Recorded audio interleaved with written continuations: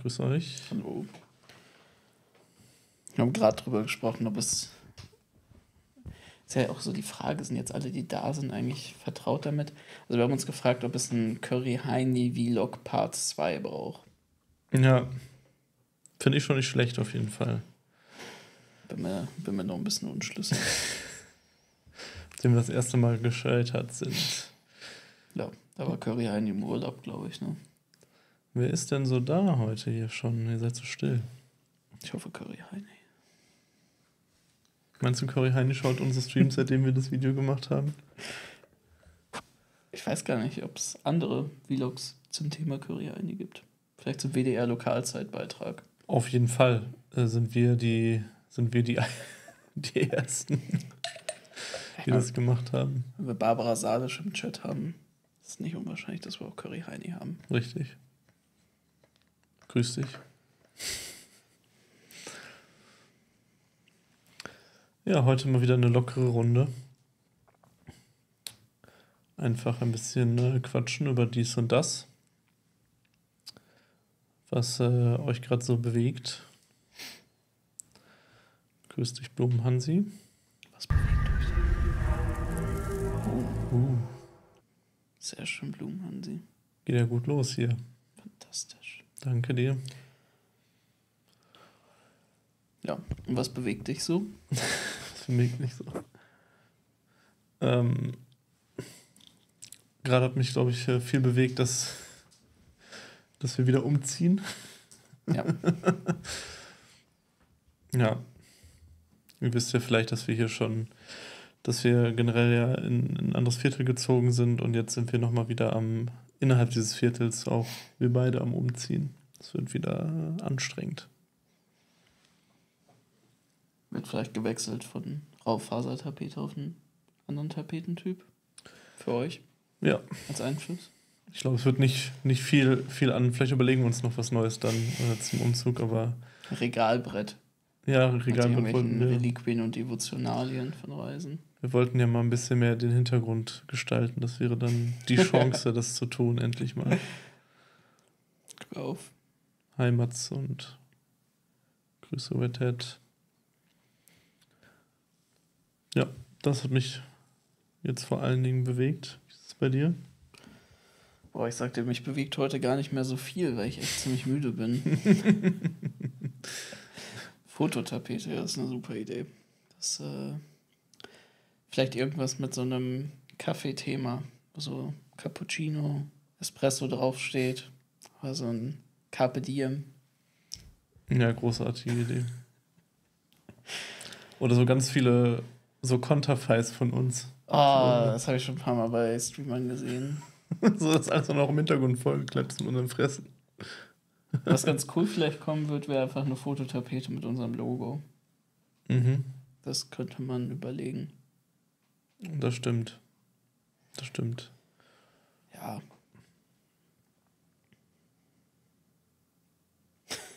Die Inseltapete, Sarah, ja. Finde ich auch ganz, also ganz grauenvoll. Ist so ein bisschen auf einer ähnlichen Stufe für mich wie maritime Baddeko. Ich weiß nicht, hast, hast du in deinem Leben viele Toiletten erlebt, wo so Leuchttürme, Bilder mit Leuchttürmen sind, Leuchttürme irgendwo stehen, so ein kleiner Miniaturstrandkorb, Es geht. So Muscheln irgendwo hingeklebt sind. Es geht. Ich finde, das ist, wenn man in Deutschland auf dem Land ist, Häufig findest du? ja, gehört schon, gehört schon so ein bisschen zu. Das finde find ich ist so ein bisschen so diese Grenze Stadt-Land. Ich finde es schon recht häufig. Genau, Custom Klobrillen, wirklich auch ganz wilde Sache. Da finde ich auch nochmal besonders, wenn noch ähm, so ein gehäkelter Überzug darüber gemacht das, wird. über ja, Klodecke. das habe ich schon lange nicht mehr gesehen, aber das stimmt, das Oh. ist echt. Boah, das ist immer, wenn ich den, wenn ich bei irgendwelchen Leuten da war und dann diesen Klodeckel anfassen musste. Ja, das ist schon ein Nicht, bisschen ekelhaft. nicht meine Lieblingserfahrung so. An sich, Okay, so geil.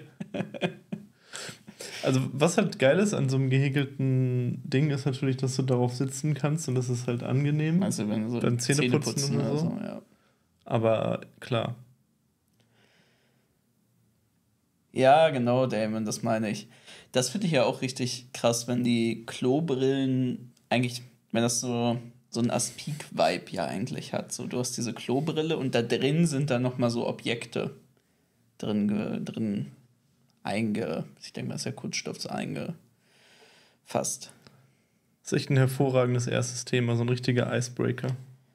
Maritim, ja, habe ich, äh, hab ich schon ein paar Mal mit Leuten mich drüber unterhalten, weil ich finde das immer noch so eine Sache, weißt du, das ist, da muss man ein bisschen das Schweigen drüber brechen. Die mhm. ist halt einfach so in Deutschland passiert, aber keiner traut sich so richtig drüber zu sprechen. Aber es ist Vielleicht sind wir jetzt die erste Generation, die unsere Eltern mit diesem Verbrechen konfrontieren. Meine Eltern hatten sowas nicht. Nee, meine waren leider auch keine Fans von Maritima. Toilettendeko, das war alles immer so ein bisschen in gedeckten Farben. Mein Papa war so ein bisschen Sammler von lustigen Objekten. Okay. So Badeenten. Lustig. ja, halt mit irgendwelchen Sprüchen drauf, ne? Irgendwie, keine Ahnung, im Kopf von Gerd Schröder oder so. Bier formte diesen schönen Körper oder sowas? Hm, ja, nee, sowas nicht, weil mein Papa nicht sonderlich viel von Alkohol hält. Okay. Aber ähm, schon, schon so in die Richtung von so Sachen, die man weißt du, sowas, was du mit einer Aral-Stempelkarte mm. bekommst. So. Ja. Oh, Aral-Stempelkarte. Das kennst du auch so, wo man. Oder, oder ist auch voll out. Ja, wo du auch noch, ähm, ich bin auch lange mit diesem Rucksack von der Aral-Stempelkarte, den, man das sehr oft in Deutschland das, das war voll das Ding. Ja, ja, ich erinnere mich noch daran, wie viel, wie viel Zeit meiner Jugend ich damit verbracht habe, darüber nachzudenken, was ich davon will und, Aral-Stempelkarte. ja, und, und was, wie viel man noch braucht und so. Ich glaube, bei uns ist das echt damit gestorben, dass wir dann zu den freien Tankstellen gefahren sind. Mhm. So als ähm, rebellischen Akt.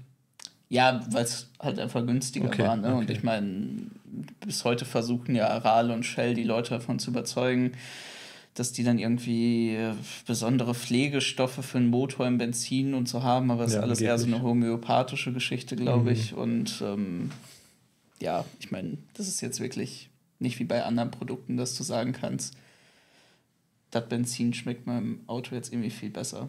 Ja, zu welcher Tankstelle fahrt ihr? meine Empfehlung, also was ich wirklich so, wenn ich hier ein Auto in Dortmund habe, wo ich immer hinfahre, kann ich auf jeden Fall empfehlen.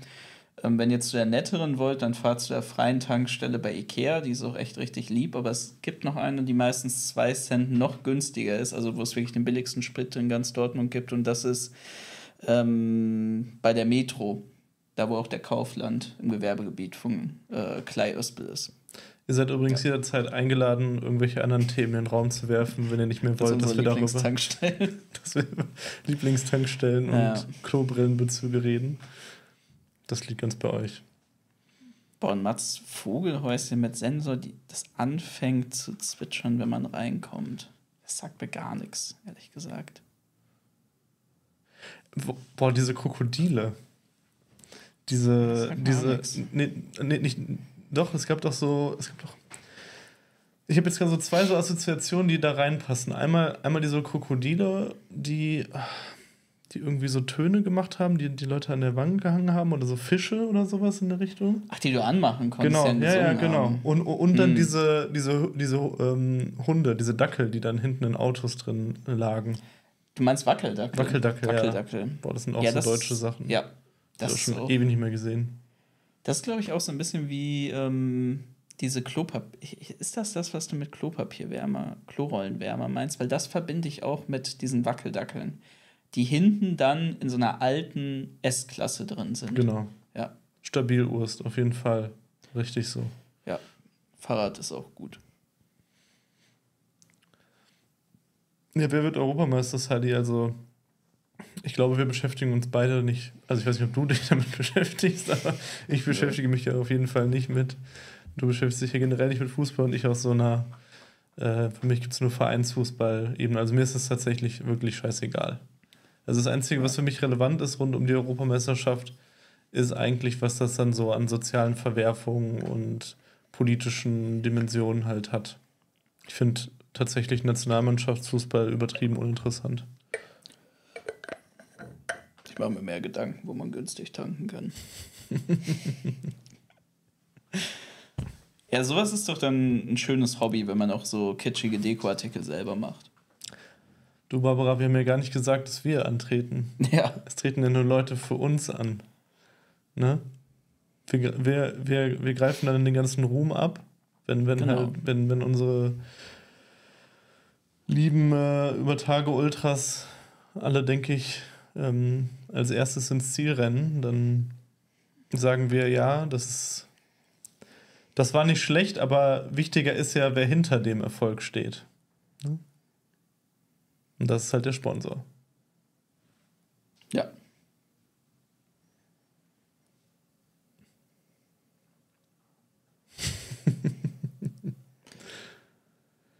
Ja, ja, ja Nightmare. Hatten wir auf jeden Fall überlegt, dass wir dann, ne, ich meine, ihr seid ja alle 3. Oktober, kann man nochmal erneuern hier. Alle eingeladen, nach Dortmund zu kommen und dann ähm, machen wir da fette Community Action. Und dann hängt es natürlich auch davon ab, wie viele Leute aus der Community kommen. Wenn wir da irgendwie mit so 100 Leuten und irgendwie ähm, Bengalos halt an der Seite halt unsere drei Laufenden oder so anfeuern, dann ähm, wird das, denke ich, schon ein stabiles Außenbild. Vielleicht für uns noch eine Hundertschaft angekarrt. das wäre dann ein großer, großer Promo-Move, wenn dann irgendwie Halbmarathon wird wegen skurrilem anarchistischen Kleins-Podcast abgebrochen. Damit schafft man es vielleicht sogar in die Lokalnachrichten. Mhm. Das wäre schon was. Und wie wir wissen, ist das das Ziel jeder linksradikalen Gruppe, es einmal in die Lokalzeit zu schaffen. Genau, wer kann das von sich behaupten?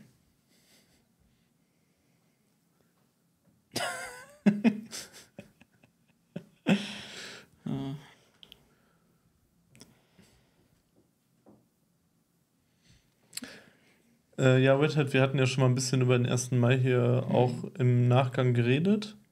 Also sehr gut. Also aus anarchistischer Perspektive war das so der, ähm, der stärkste 1. Mai, den ich miterlebt habe auf so einer Breite.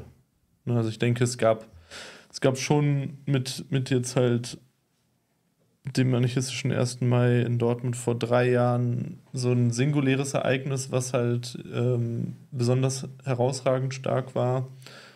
Und das hat es jetzt halt dieses Jahr nicht gegeben und auch ähm, das letzte Jahr nicht. Aber von der Breite her war das sehr, gut. Es war sehr, ähm, es gab sehr viele Städte, mehr als, mehr als sonst. Es war spürbar mehr ähm, von der Qualität her ähm, waren, waren die Ausdrücke der, der verschiedenen ähm, lokalen Mobilisierungen oftmals stärker und es wurde auch mehr ähm, unterstützt von unterschiedlichen Leuten. Es war auch größer und so, die ganzen Geschichten. War ein toller Erfolg.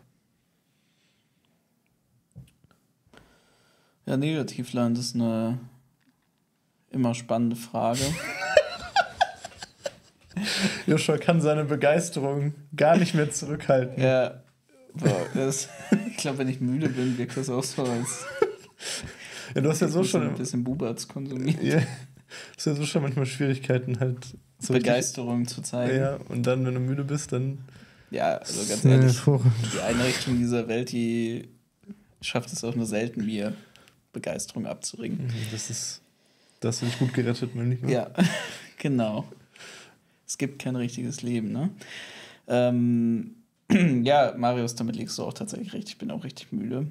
Hm. Tatsächlich für euch. So, weil ich äh, in der Folgenvorbereitung sitze und jetzt immer vor der Arbeit und der Uni einen Wecker gestellt habe, um noch ein Buch weiterzulesen. Irgendwie so zwei, drei Bücher habe ich für Vorbereitung jetzt lesen wollte und äh, ja, sonst passt das leider nicht mit dem Zeitplan. Aber Frage Zusammenarbeit mit roten Gruppen. Das ist tatsächlich so was, was wir auch ähm, in einer sehr frühen Folge mal besprochen haben, nämlich der zu Anarchismus und Maoismus. Mhm. Gerade da eben bezogen auf maoistische Gruppen. Aber generell würde ich sagen, ist es so eine Sache, die sich einfach sehr stark an dem jeweiligen Fall misst. Also, was ist es eigentlich, wo da zusammengearbeitet werden soll? Geht es beispielsweise um irgendeinen sozialen Kampf, wo auch rote Gruppen drin sind? Geht es um ein eher, sagen wir mal, ein Fest, äh, was aus der radikalen Linken kommt und sich an die radikale Linke wendet? Da muss man einfach sehr spezifisch erstmal schauen davon, ähm, wie stark sind jetzt die roten Gruppen da drin verankert, was für eine Arbeit machen sie da drin, weil das ist ja ein super breites Spektrum an unterschiedlichen inhaltlichen Ausrichtungen, strategischen Herangehensweisen. Eine maoistische, clandestine Gruppe arbeitet anders als eine trotzkistische Gruppe, die einfach versucht, Machtpositionen zu besetzen. Und die arbeiten wiederum anders als manche roten Gruppen, die etwas loser organisiert sind und einfach nur versuchen, Kommunisten aller unterschiedlicher Couleur zu arbeiten und irgendwie einen losen Bezug zu einem leninistischen Prinzip haben und sagen, das wollen wir eigentlich machen, aber im Endeffekt machen sie es nicht, weil sie dazu nicht in der Lage sind oder das einfach nicht dem Gruppenkonzept entspricht. Und ähm, ich finde das halt tatsächlich aus einer anarchistischen Perspektive häufig recht befremdlich, dass so häufig lieber mit liberalen Kräften zusammengearbeitet wird oder dann auch teilweise irgendwelchen antideutschen Antifas, wo das Inhaltliche eigentlich, soll man meinen, komplett von unserem Anspruch entgegengeht, aber man das dann lieber macht, weil man sagt, ach, die Roten, die sind ja immer so autoritär und die, die wollen uns irgendwie aus den Kämpfen rausdrängen. Und ich würde sagen, wenn es zu solchen Fällen kommt, natürlich geht es darum, sich zu wehren. Und wenn es zu, sagen wir mal, einer autoritären Umstrukturierung eines Bündnisses einfach nur in dem Interesse einer Gruppe geht, die sich als Avantgarde-Partei, irgendwie als große Anführerin der Revolution, die alles unter Kontrolle halten muss, da ähm, geriert, dann muss man natürlich dagegen vorgehen und da muss man eben entsprechende Maßnahmen ergreifen. Aber dieses, was ich schon ein paar Mal miterlebt habe von anarchistischer Seite, man geht irgendwie in ein Bündnis äh, rein und dann sitzt da rote Gruppe XY und das erste und alleroberste Ziel von den Anarchisten ist dann, weil man möchte ja irgendwie die antiautoritäre Organisierung erhalten, ist es dann zu versuchen, diese Gruppe aus dem Bündnis irgendwie rauszudrängen oder bei jedem Vorstoß dieser Organisation die vielleicht das dann auch mit irgendwie, wie wir übernehmen irgendwas oder wir haben irgendwelche Kapazitäten, da was zu machen, dann immer als erstes vermutet, das ist jetzt eine autoritäre Übernahme und da müssen wir irgendwas gegen machen, hat meiner Meinung, äh, hat meiner Erfahrung nach ganz häufig eher zum gegenteiligen Effekt geführt und auch zu einer Isolation von einem selber. Deswegen würde ich sagen, nach Fall unterscheiden, nicht als erstes das als den Hauptkonflikt darin zu sehen, und sich auch mal die anderen Kräfte, mit denen man dann sonst da zusammenarbeitet und scheinbar auch manchmal lieber zusammenarbeitet von liberaler Seite, mal genauer angucken und wie autoritär dann auch teilweise die agieren. Und vielleicht noch als eine Ergänzung, ich meine, man kann natürlich viel darüber reden und man könnte wahrscheinlich nur einen ganzen Stream darüber ja. strategisch reden, was, was, was halt da sinnvoll ist und was nicht. Aber es hängt ja auch von der Struktur ab. Also es gibt ja wirklich auch ein breites Spektrum an, an leninistischen Organisationen unterschiedlicher Couleur oder auch an marxistischen, auch teilweise dann undogmatisch marxistischen Organisationen oder so. Und das heißt halt, also wenn jetzt halt zum Beispiel eine Organisation die Diktatur des Proletariats erreichen will, heißt das noch, sagt das halt noch nichts tatsächlich darüber aus, wie sie sich halt konkret in Kämpfen halt verhalten.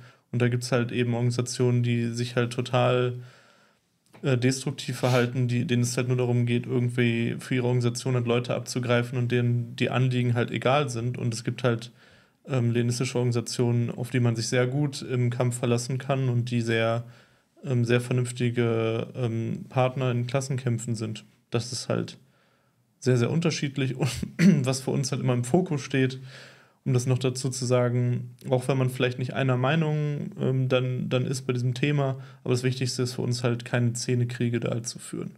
Also diese Zeiten von wir laufen jetzt halt rum und reißen halt von irgendwelchen leninistischen Organisationen die Propaganda ab und dann antworten die da drauf und sprayen halt irgendwie den Laden voll oder was weiß ich, die müssen halt echt vorbei sein, da haben wir halt einfach ganz anderes zu tun.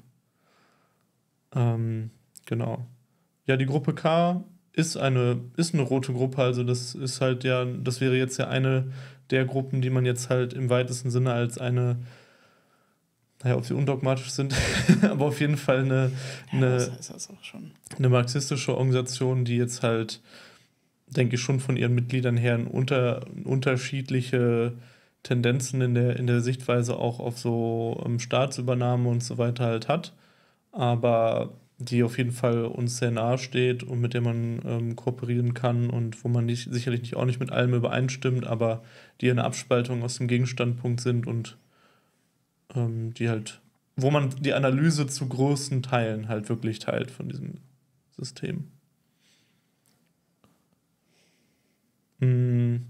Genau, Barbara Salisch hab, haben wir eine Meinung zu Mera 25. Ja, das ist ja gerade so aufgekommen, ne? Die sind ja jetzt das erste Mal, dass sie, dass sie da antreten, glaube ich, bei den EU-Wahlen, zumindest für Deutschland. Und ich habe mich tatsächlich jetzt noch nicht so intensiv äh, damit beschäftigt, was die so, was sie so machen und so weiter, aber es wirkt halt so ganz okay und halt wie so, wie so halt eine Möglichkeit, weil man, man ist ja sozusagen immer auf der Suche für, für diejenigen von uns, die jetzt halt ja, wählen gehen, ist er immer auf der Suche nach irgendeiner ähm, linken Kraft, die halt nicht irgendwie komplett wahnsinnig ist oder so. Und, und die halt, ähm, ja, die man, wo man einfach sagt, okay, das ist halt okay, wenn da, wenn da halt eine Stimme hingeht, so. Und kann schon sein, dass es halt mehrere 25 ist, aber um das halt wirklich final beurteilen zu können, habe ich mich damit zu wenig beschäftigt. Ja, kann ich ehrlich gesagt auch nicht viel zu sagen. Ich habe die irgendwie als so wieder, also wieder so ein Versuch eben von so einer paneuropäischen linken Perspektive, die eben so ein bisschen so dieses diese nationalen Interessen innerhalb der Europäischen Union irgendwie überwinden möchte. Und das einzige andere, was ich ehrlich gesagt davon mitbekommen habe, ist, dass Varoufakis der Spitzenkandidat für Deutschland, mhm. glaube ich, ist. Was wahrscheinlich einfach auch wieder so ein. wirkte für mich auch wie so ein. Uh, irgendwie ein bisschen Kontroverse erzeugen Versuch. Keine Ahnung, ich weiß gar nicht, lebt er überhaupt in Deutschland oder so? ich weiß nur, dass er ab und zu mal bei 99 zu 1 aufgetreten ist. Ja, war der bei 99 zu 1? Jetzt war bei 99 oh, zu 1. Ja, keine Ahnung. Ist aber auch ehrlich gesagt so eine Person, habe ich irgendwie in meiner Kindheit und Jugend so mitbekommen, als das Thema Eurokrise war, aber jetzt auch niemanden, den ich irgendwie maßgeblich sonderlich interessant fand. Mhm. Deswegen weiß ich auch nicht. Ich weiß nur, dass es irgendwie eine Kontroverse jetzt um ihn gab, weil er angeblich, aber selbst da habe ich das jetzt noch nicht mal selber nach, nachvollzogen, dass der irgendwie ähm, den äh, Hamas-Überfall vom 7. Oktober nicht als Terrorangriff werten will oder irgendwie so. Keine Ahnung, wirkt mir irgendwie tendenziell leicht suspekt. Ähm aber habe ich auch nicht überprüft. Also weiß ich auch nicht, weil der war ja auch irgendwie bei dieser, beim Palästina-Kongress in Berlin sollte er auch irgendwie, glaube ich, zugeschaltet werden oder so. Und ähm, keine Ahnung, ob das jetzt ihm von Springer angedichtet wurde oder ob er tatsächlich irgendwie leicht daneben ist. Das wäre noch eine. Warum fragst du, ich bin Anfängen von Volt dabei? Das wäre mir ehrlich gesagt neu. Das wäre mir auch neu, das finde ich auch sehr wild. Tatsächlich zu Volt, weil ah. wir ja ah. darüber gesprochen haben. Ich habe mir letztens ein Interview ähm, vom Volt-Gründer mm. angeschaut, mal, wo er so ein bisschen von der Partei erzählt. Und ich glaube sogar, dass er dann. Aber das Varoufakis mit so einem, mit diesem, ähm, mit diesem aus, aus, dem Spaßladen mit diesem Schnurrbart und dieser Brille. und, so. Brille und seine Nase. ja, genau. Ja. genau so sah der aus. Ähm, nee, das war irgendwie so ein deutscher Typ, der, glaube ich, dann mit einer Französin und einer Italienerin zusammen diese Partei irgendwie aus einer Studi-WG heraus gegründet hat. Mhm. Ja, und ähm, ich glaube nämlich, dass er sogar dann darauf angesprochen wurde, dass von Varoufakis jetzt neben auch irgendwie sowas ausgehen wird. Mhm. Also irgendwas, was der vorher wohl dann auch schon äh, gemacht hat. Und ähm, war, das, war das nicht. Wie hieß das denn nochmal? Es gab doch auch schon mal eine andere Sache von Varoufakis. Das, vielleicht vertausche ich das auch. Wo der auch sowas wie jetzt mit Mera 25 versucht hat. Und ähm, da wurde er nämlich darauf angesprochen, da meinte er, dass ihm das irgendwie zu ideologisch sei. Ja, wenn das seine einzige Kritik ist, ist es auf jeden Fall nicht so tief. Ja, er hat das dann ausgeführt und im Endeffekt ging es dann darum, dass ihm das alles zu einfach zu stark anti-Establishment war und man hat im Endeffekt so rausgehört, dem geht es nicht darum, jetzt irgendwie da radikale soziale Reformen umzusetzen, sondern sehr milde soziale Reformen und ähm, was die vielleicht. Ja, genau, ich glaube, der hatte auch eine andere Partei auf europäischer Ebene. Das äh, meine ich nämlich auch als Vorläufer. Ich glaube, was vielleicht so Volt und jetzt Mera eint, ist so ein bisschen dieser Anspruch von einer Demokratisierung der Entscheidungsprozesse auf der EU-Ebene. Das ist, glaube ich, eine Kritik, die die teilen und auch eine andere Kritik, die die dann beide teilen, wäre eben dieses ähm, maßgebliche, diese maßgebliche Wichtigkeit von nationalen Interessen auf europäischer Ebene. Dass man das eben zurückfahren möchte und man möchte alles eigentlich mit mehr Europa. Und ich glaube, wo man sich dann uneinig ist, ist dann eher so diese, einmal dieser leicht linksliberale, aber vor allem liberale Ansatz von Volt und bei Mera wirkt es dann für mich eher wie ein ähm, linker, linksradikal, ja, leicht, leicht links. Genau, leicht linksradikaler Ansatz. Ja, Nightman, das hätte, das hätte, da hätte ich jetzt, hätte mich auch gewundert. Also so hätte ich Varoufakis nicht eingeschätzt, dass er bei Volt mitmischt. Mhm. So. Du hast noch eine Frage bekommen, Joshua, wie du effizient liest. Ach so. Ich, ich lese nicht so viel. kein, kein.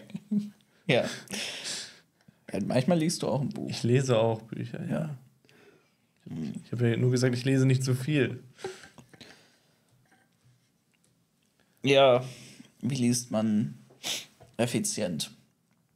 Also, ich würde sagen, was ganz sinnvoll ist, wie heißt nochmal der Spaß, wenn man ein Exzerpt, glaube ich, ähm, nutzt. Also, dass man, gibt es auch recht einfache Vordrucke von so Tabellen, wo man dann eben eintragen kann mit äh, Seitenzahl, Oberthema und Inhalt, dass man das dann eben immer ganz gut während des Lesens schon zusammenfasst. Mir hilft es auch dabei, das vor auf dem Schmierzettel alles ein bisschen unordentlicher zu machen, um während des Lesens dann eben schon die Übertragung mit dem Schreiben zu haben. Ich finde, das sorgt auch dafür, dass man ein bisschen mehr in den einzelnen Seiten dann dabei bleibt und nicht so stark abschweift, das ist ein großes Problem von mir, dass ich dann einen Abschnitt lese und manchmal habe ich währenddessen einfach irgendwelche anderen Gedanken oder denke über was ganz Banales irgendwie nach. Keine Ahnung, was, wenn ich jetzt nach Hause gehe, äh, gehe ich noch da vorbei oder was will ich heute Abend essen oder so, dann kommt mir irgendwas zufällig in den Kopf rein und deswegen brauche ich eben eine, um wirklich effizient zu lesen und das heißt nicht einfach nur Seitenzahlen runterzubekommen, sondern aus den Seitenzahlen wirklich Sachen rausziehen zu können, die ich dann später nutzen kann, sei es jetzt für Diskussionen, sei es für Podcast-Folgen, sei es für die Uni oder für irgendwas anderes. Und da ist mir das dann eben ganz wichtig, dass ich einmal diesen Schmierzettel an der Seite habe, wo ich einfach ein bisschen Sachen runterschreibe und dann eben nach so einem Kapitel auch das nochmal so kurz und knapp zusammenfasse. Jetzt nicht zu viel schreiben, ne, sondern wirklich die wichtigen, stringenten Sachen rausmachen, weil so Feinheiten kann man im Zweifelsfall auch immer einfach nachträglich dann noch mal kurz nachschauen und dazufügen. Ähm, das wäre eben eine Sache. Ähm, wichtig finde ich auch, dass man sich einfach kurze Ziele beim Lesen setzt. Also was mir immer wirklich sehr hilft, ist, dass ich einfach sage, ich habe jetzt so und so viel Zeit und ich nehme mir jetzt erstmal diesen kleinen Block vor, den will ich jetzt auf jeden Fall noch lesen. Und wenn man dann mehr schafft, weil ich gerade merke, ey, ich bin da drin, ist ja super. Aber eben diese kleinen Ziele setzen und dadurch dann eben auch ein schnelles Erfolgserlebnis haben und ähm, so dann auch mit einem Buch einfach durchgehen. Und das kann man dann auch immer wieder zwischendurch machen, weil ich merke das so häufig, keine Ahnung, man entspannt oder so und ähm, habe dann einfach nur Zeit für mich und dann frage ich mich, ja, bleibe ich jetzt einfach noch ein bisschen liegen und entspanne jetzt irgendwie ein bisschen weiter oder ich könnte ja jetzt eigentlich vielleicht mir noch so eine halbe Stunde nehmen und einfach was lesen. Und da dann auch wieder einfach ein, ein kleines Ziel setzen, das dann noch machen und so funktioniert das dann auch. Und ähm, das ist eigentlich das, wie ich dann versuche, effizient zu lesen. Und ja, das klappt eigentlich auch.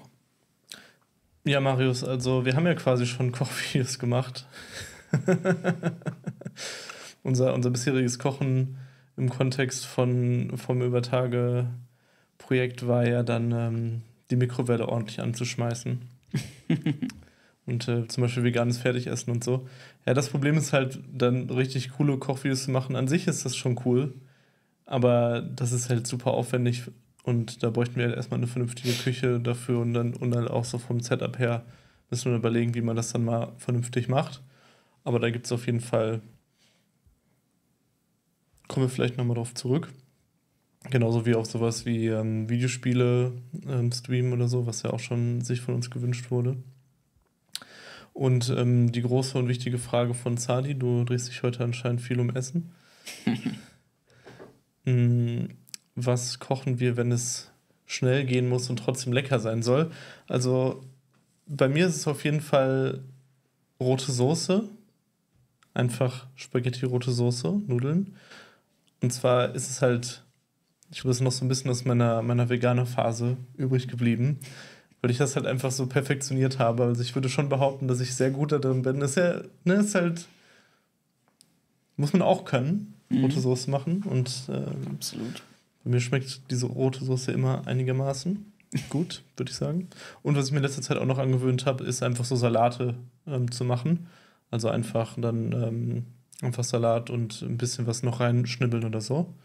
Das ist, denke ich, auch eine Sache, die, die schnell geht und die gut ist und gesund ist und lecker ist.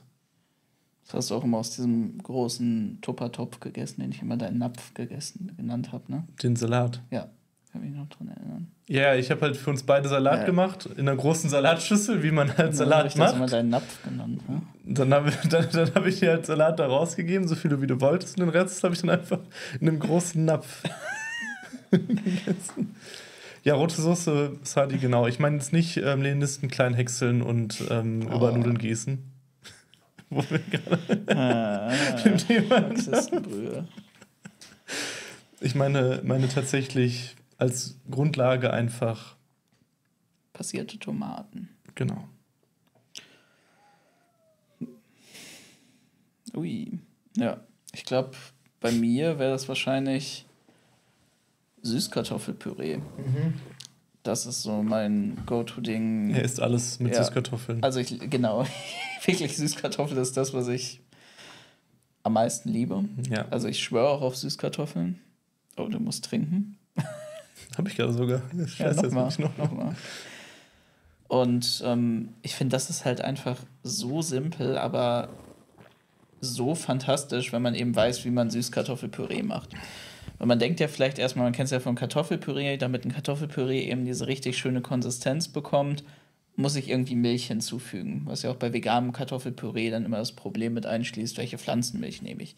Das Schöne bei Süßkartoffeln ist, durch die bestimmte, ähm, durch die bestimmte Zusammensetzung mit den Ballaststoffen da drin, ähm, ist es so, dass die Süßkartoffeln von sich aus einfach schon eine sehr schöne Konsistenz haben, wenn man die einfach nur dann mit dem Fett macht. Also sei es jetzt Butter, sei es jetzt Öl oder so. Und ich finde, das geht super schnell, weil du hast nicht so viele Kartoffeln zu schälen. Du nimmst halt einfach ein paar schöne Süßkartoffeln, machst die schön klein, kochst die halt. Zubereiten? Ja, du magst das nicht, weil die so schwer zum Schneiden sind. Ja. Ne? Man muss schon ein bisschen, man muss ein bisschen Kraft anwenden. Ich ne? habe halt in den Händen keine Kraft. Und das ist halt, brauchst du halt echt. Ja, das stimmt. Man braucht schon ein bisschen Griffkraft. Aber mhm. wenn man das einmal drin hat und ähm, man muss halt einfach ein schönes Messer nehmen. Puh. Boah, Bohnekamp. Ja, als wenn wir jetzt mhm. hier irgendwie Schnaps. Kräuterschnaps. ähm. Ja, vielleicht müssen wir mal irgendwie ein Getränk dafür aussuchen, was wir dann immer nehmen. Naja, auf jeden Fall das dann verkochen, Wasser abgießen, schön ordentlich Olivenöl drauf. Dann irgendwie, was echt gut schmeckt, sind so Sachen wie, kennt ihr so diese spanischen, andalusischen Kräutermischungen mit so ein bisschen Orangenschale und ähm, Kurkuma ist da, glaube ich, auch drin. Das richtig schön ein kleines bisschen Zimt drauf, ordentlich Salz, ordentlich Knoblauchpulver und das dann alles mit schön viel Olivenöl und dann halt stampfen. Das gibt eine fantastische Konsistenz. Es schmeckt grandios. Gerade auch mit dieser Zimtnote noch dabei. Ein Träumchen. Und dazu kannst du dann einfach irgendwas in der Pfanne braten. Sei es jetzt, wenn man vegan ist, dann nimmst du halt die Mühlencordon Bleus, die schmecken dazu gut. Oder ähm, von Aldi auch die Nürnberger Würstchen, ähm, hier Bio richtig gut oder wenn man mal ein bisschen fancy unterwegs ist und selber was machen will, kannst du auch ähm, beispielsweise Tauk selber ähm, einlegen oder ähm, Schnitzel zu machen, aber es ist halt super variabel. Und dazu dann einfach ein schönes Glas, also aus dem Glas schmeckt es auch besser, feine Erbsen und Möhren. Und zwar in Topf rein, nur Pfeffer und Salz dran. Und wirklich gute Erbsen und Möhren aus dem Topf auch super einfach zu machen, aber es braucht ein Geheimnis, weil die schmecken nicht, wenn sie noch diese komische Knackigkeit haben, die niemand mag. Du nimmst halt, dann bleiben die anderen nämlich knackig, aber um eben wirklich das zu haben, dass der Geschmack sich richtig entfaltet, nimmst du halt die Erbsen und zerstößt ein paar an der Seite. Und dadurch kriegt das alles werden die Erbsen und die Möhren eben mit so einer schönen, eigentlich selbst aus den Erbsen gemachten, leichten, ich nenne es jetzt nicht Soße, ich nenne es jetzt Was? Marinade, meinetwegen. Ich nenne es Marinade, weißt du? Und da, dann, damit dann ummantelt, das ist fantastisch. Es halt, schmeckt halt wie bei Oma. Ja, das ist auch das, was, was du eigentlich immer zubereitet hast, wenn du gekocht hast. Ja.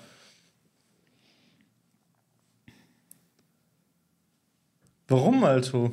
Was Ja. ist das Problem da dran? Rote Soße und Was ist los? Süßkartoffeln. Ja, Sally, keine Es Ahnung. ging, ich es ging, um die, nicht, es ging um die Frage schnell.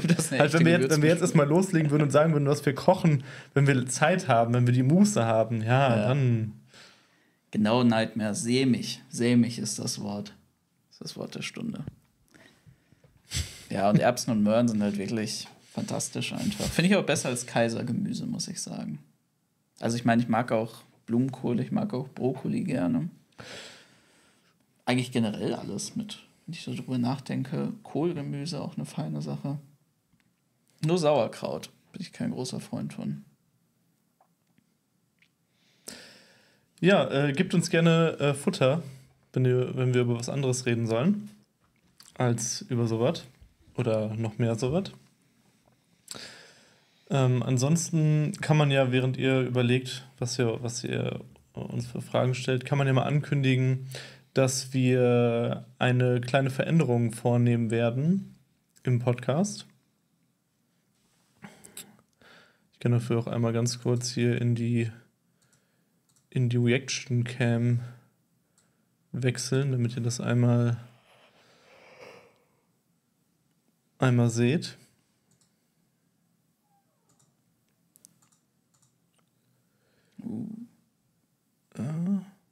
Wo ist es? Da ist es. Genau. Und zwar übertriebenes Programm. Ist natürlich immer bei Übertage übertriebenes Programm. Hoppala.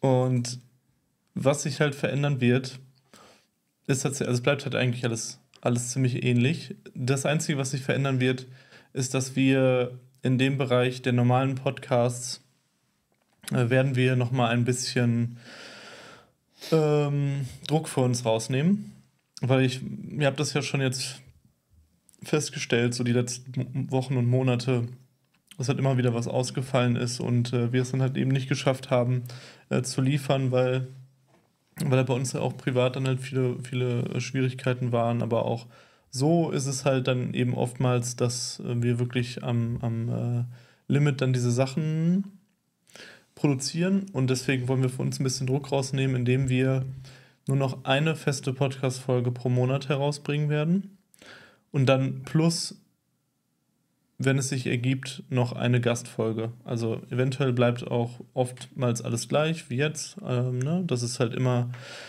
immer zwei Folgen im Monat gibt, aber manchmal wird es auch so sein, dass, ähm, dass es dann nur eine Folge pro Monat gibt. Hatte sich jetzt eh schon so ein bisschen so eingependelt und wir wollen halt für uns ein bisschen Druck rausnehmen, damit wir halt die Qualität, die wir aufgebaut haben mit den Podcast-Folgen, dass wir die halt halten können. Weil wir haben, wir, haben, wir haben halt immer wieder festgestellt, es ist für uns halt total schwierig, noch Themen zu finden, die man locker behandeln kann. Also Mhm. wo man jetzt sagen kann, ey, ähm, da schreiben wir halt nur eine, eine grobe Struktur und dann legen wir einfach los. Das ist halt sehr schwierig geworden, da haben wir das meiste schon behandelt und unser Anspruch ist einfach höher geworden und äh, speziell du, Joshua, brauchst doch einfach mehr Zeit für die Recherche, ne? Ja, das ist halt das Problem, ne? Das ist uns auch aufgefallen. Ich meine, wenn man Sachen weit im Voraus macht und auf irgendwas, was man vorher schon in der Behandlung hat, ähm, sich dann beziehen kann, dann geht das vielleicht, aber ähm, ganz häufig, wenn wirklich neues Thema zwei Wochen jetzt war, dann, dann stand ich ja wirklich vor dem Problem, dass ich mich dann erstmal eigentlich ein Thema einlesen muss, damit Ja. wir auch eine gewisse Expertise in der Beurteilung der Sache haben und nicht einfach nur so ein bisschen das dann raushauen. Und wenn wir jetzt drüber nachdenken, ich meine, ähm, kann man ja auch schon mal so sagen, so Themen, die für uns jetzt dieses Jahr dann äh, auch noch so im Raum stehen, dass wir mal über ähm, Ruhrgebiet und Kohle reden wollen, dass wir mal über ähm, Öl als äh, Treibstoff der kapitalistischen Wirtschaft weltweit reden wollen, dass wir über islamischen Fundamentalismus nochmal reden wollen. Das sind ja alles so Sachen, die das, da bedarf es einfach einer intensiven Beschäftigung damit. Ja. Und das ist halt eine Sache, die nimmt dann eben auch ähm, mal mehr als zwei Wochen in Anspruch. Und ähm, genau dafür machen wir es ja auch. Genau, und deswegen äh, wird es leider auch so sein, dass diesen Sonntag ähm, die Folge, die wir angekündigt haben, zum ähm, EU-Imperialismus nicht kommen wird, weil äh, das einfach gerade nicht machbar ist. Aber wir werden die Folge wieder ersetzen. Und zwar, ähm, da bin ich auch gespannt, was ihr davon haltet. Werden nochmal eine, seit langer Zeit mal wieder ein Ranking machen, als ähm, Ersatz dafür. Und zwar ranken wir alle Wahlvideos mhm. von den unterschiedlichen Parteien. ähm, ich glaube, das habe ich noch nirgendwo gesehen, dass das irgendwer gemacht hat. Nee. Und das wird sicherlich ziemlich witzig als, als Ersatz. Ich hoffe, ihr, ihr werdet das dann auch so feiern wie wir. Ich meine, dann kommen ja auch noch Sachen hinzu. Es ist ja auch nicht unwahrscheinlich, dass ich ähm, für ein paar Wochen dieses Jahr dann ins Ausland gehen werde. Ne? Mhm. Was sich dann natürlich auch noch mal äh, hier drauf auswirkt, wo wir gucken müssen, ob ich vielleicht mal irgendwo zugeschaltet werden kann, wenn es dann so steht. Ja. Ähm, da muss man natürlich auch schauen. Ja, Nightmare, das, wir probieren das natürlich, ähm, dass, dass wir auch weiter, dass wir weiterhin, ich meine, das, das geht einfach damit einher, ne? Also dass man, dass man halt echt einfach sagen muss, so ja, wir, wir ähm, einen Podcast zu produzieren, der halt, der halt tiefer geht, wo man nicht einfach sich reinsetzt und labert, so wie jetzt halt in Streams, das ist einfach ein ganz anderes ähm, Level und wir probieren es ja dann damit so ein bisschen zu ersetzen, weil, weil halt Livestreams einfach leichter zu produzieren sind, niedrigschwelliger zu produzieren sind, dass wir die Sachen dann auch auf Spotify und so hochladen. Ne? Und dadurch haben wir es ja auch erreicht, dass wir auf der einen Seite diese sehr, sehr tiefgehenden, auch viel längeren Podcast-Folgen als früher halt ähm, aufgenommen haben, aber auf der anderen Seite tatsächlich sogar viel mehr Content als früher raushauen. Also. Ne? Genau. Und das ist ja auch so von natürlich dem, sagen wir mal, wo, wie soll man sagen, wo wirklich jetzt unsere inhaltliche Position drin steckt. Das ähm, wird ja der Podcast bleiben. So. Genau. Und auch die Folgen, die wir machen, werden ja das, was, ähm, wo wir wirklich jetzt zu 100 Prozent dann qualitativ auch hinterstehen, wo wir auch wirklich Leute darauf verweisen werden, hier schaue ich, schaut euch das mal an. Deswegen würde ich auch nicht sagen, dass ähm, Streaming der irgendwie überhand nimmt, weil das, wo wirklich unsere Hauptarbeit natürlich noch reinfließt, das ist und bleibt der Podcast. Jo. Dann die Frage. Ja, schön, Mats. Ja, genau, also ich, es ist ja einfach nur eine Fortsetzung von dem, von dem Kurs, ne, den wir, den wir bisher halt eh hatten dass wir halt probieren, halt die Qualität hochzuhalten. Wir haben, wir haben auch zum Beispiel eine andere Sache, die vielleicht auch noch ein Vorteil sein kann, dass wir dann auch für den Überblick mehr Zeit haben, das qualitativer zu machen. Das habe ich genau. noch vergessen zu, zu erwähnen. Da ist es ja auch einfach so, dass wir halt häufig jetzt keine Zeit hatten, das halt groß vorzubereiten und wir einfach nur die Themen halt ähm, so genommen haben und dann halt einfach so, ja, uns das halt im Stream angeguckt haben und dann halt dazu irgendwas gesagt haben.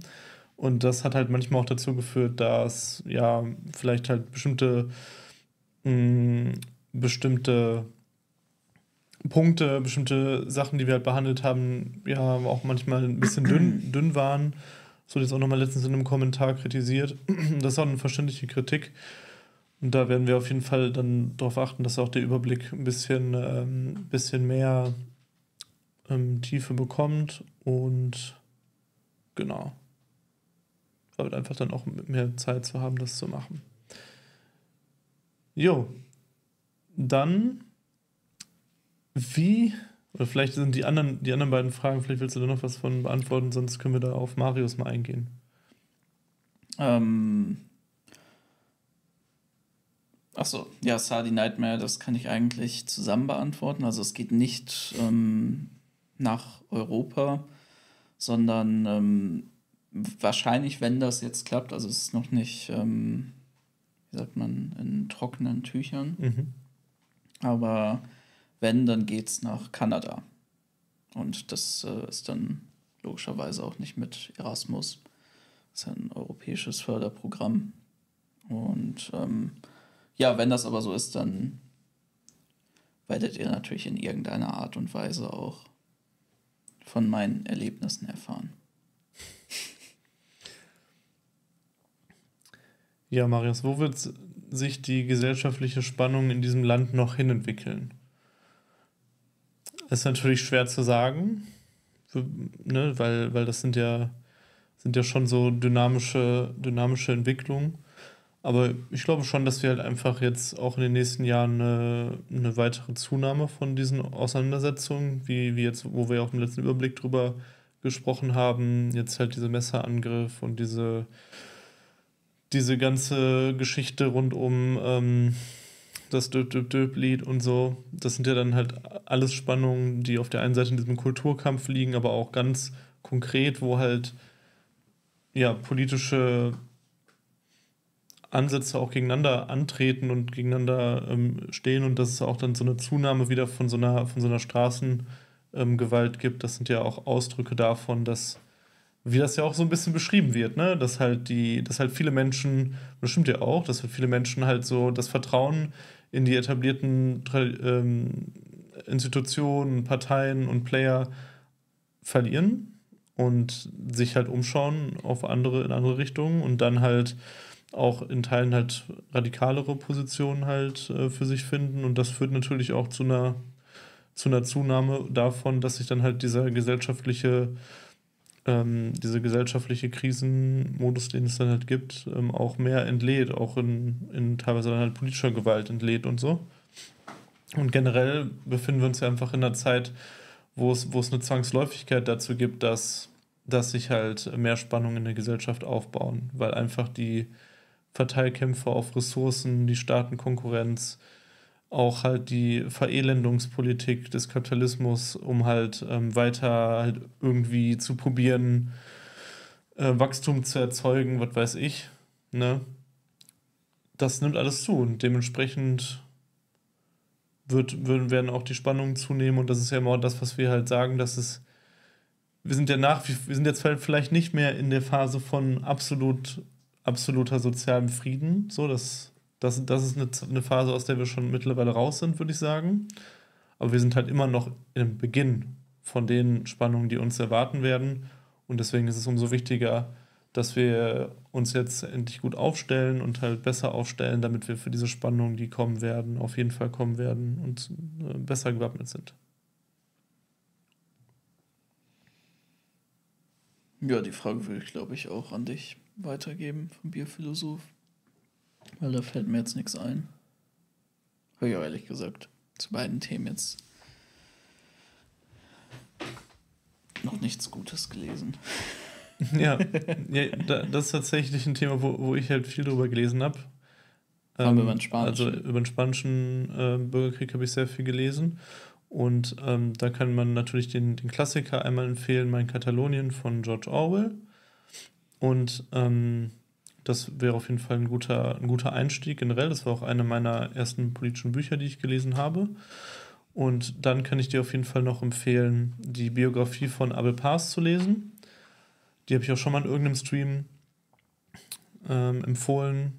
Die ist, mach's gut, Sadi. Die ist wirklich hervorragend. Die behandelt halt die vorrevolutionäre Phase, die revolutionäre Phase und dann in der Folge die Niederlage und äh, die Verfolgung und die Reorganisierung der Bewegung. Aus eben einer persönlichen Perspektive. Sehr, sehr, sehr, sehr starkes Buch. Oder Reihe auch. Äh, und natürlich hat Abel Pass auch die Biografie von Dorothy äh, geschrieben, die man auch natürlich empfehlen kann in dem Zusammenhang. Und. Das war jetzt nicht auf den Inhalt bezogen. Und äh, genau, Marius, äh, die Geschichte der Machnobewegung von Peter Aschinow würde ich auch empfohlen. Ähm, ist auch ein sehr gutes Buch, was, was man halt schon dazu sagen muss bei der, bei der Geschichte der Machnobewegung ist, dass man durchaus merkt, dass es natürlich nah an den Tatsachen ist, aber ich finde, beim Lesen merkt man halt schon, dass auch manchmal so ein bisschen das mitschwingt, dass es dann halt auch in so eine, so davon abgeht, sag ich mal, und halt so eher in so eine Propagandarichtung verfällt. Also äh, ich meine, der Kampf von Machno und so war halt heroisch. aber es, ist, es gibt dann schon immer so diese, diese, diese Passagen in dem, in dem Buch, wo man dann auch so denkt, so ja, okay. Machno, weiß nicht, ob er jetzt der größte Feldherr aller Zeiten war oder so, aber das wirkt dann halt manchmal so halt so, ja, da ist er wieder dann entkommen und da ist er wieder und, und dann gab es wieder dann einen verheerenden Schlag und so, wie gesagt, ist ja auch nicht unwahr, aber das noch als Ergänzung dazu, aber trotzdem ein gutes Buch. Ja, zu Machno gibt es auch noch ein schönes, aktuelleres, ähm, wer ist das nochmal? Erinnert euch an mich? Genau, das erinnert euch an mich. Auch, ich, auch nett. Genau, also. Ich glaube, wahrscheinlich etwas näher an der Realität dann dran, weil mit modernen Ne, ich glaube tatsächlich, dass die Wahrheit so zwischen, zwischen Erinnert euch an mich und Geschichte der Machno-Bewegung steht. Also ich fand tatsächlich, Erinnert euch an mich teilweise zu, zu kritisch von der Auswahl der, ähm, der Zeitzeugenberichte. So. Also wo dann halt, wo dann halt auch von der Wertung her so ein sehr, ähm, ne, so. Es gibt halt ein paar echt wilde Sachen.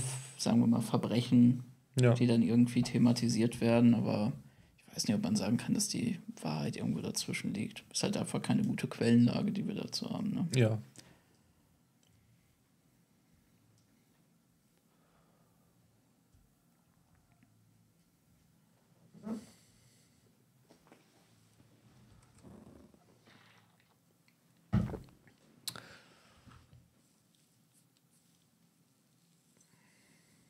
Ja. Bierphilosoph, was ist dein Lieblingsbier? Was? Das kann man auch mal in den Chat fragen. War, war das nicht die Frage, was, was ist das Lieblingsbier? Ja. ja. Was ist dein Lieblingsbier? Wir müssen ja nicht immer nur auf Fragen von euch warten. Ja, Wir natürlich. Euch ja jetzt auch einfach mal herausfordern. Absolut. Wir sind ja jetzt bei, bei alkoholfreiem ähm, Weizen auf den Geschmack gekommen, ne? Oh ja. Büble. Wir sind ja, schon lange. Büble alkoholfrei. Das ist ein großartiges das stimmt. Getränk. Das ist wirklich gut. Boah. Das, doch, das kann man doch auch wirklich nur so ein bisschen wie wenn Leute, wenn Linke aus Dortmund sagen, mein Lieblingsbier ist Hansa-Export. Das ist halt. Ich würde sagen, das ist ideologisch begründet geht man nicht objektiv dran. Keine materialistische Bier, Bierkritik. Ja. Was ist euer Lieblingsbier? Hm.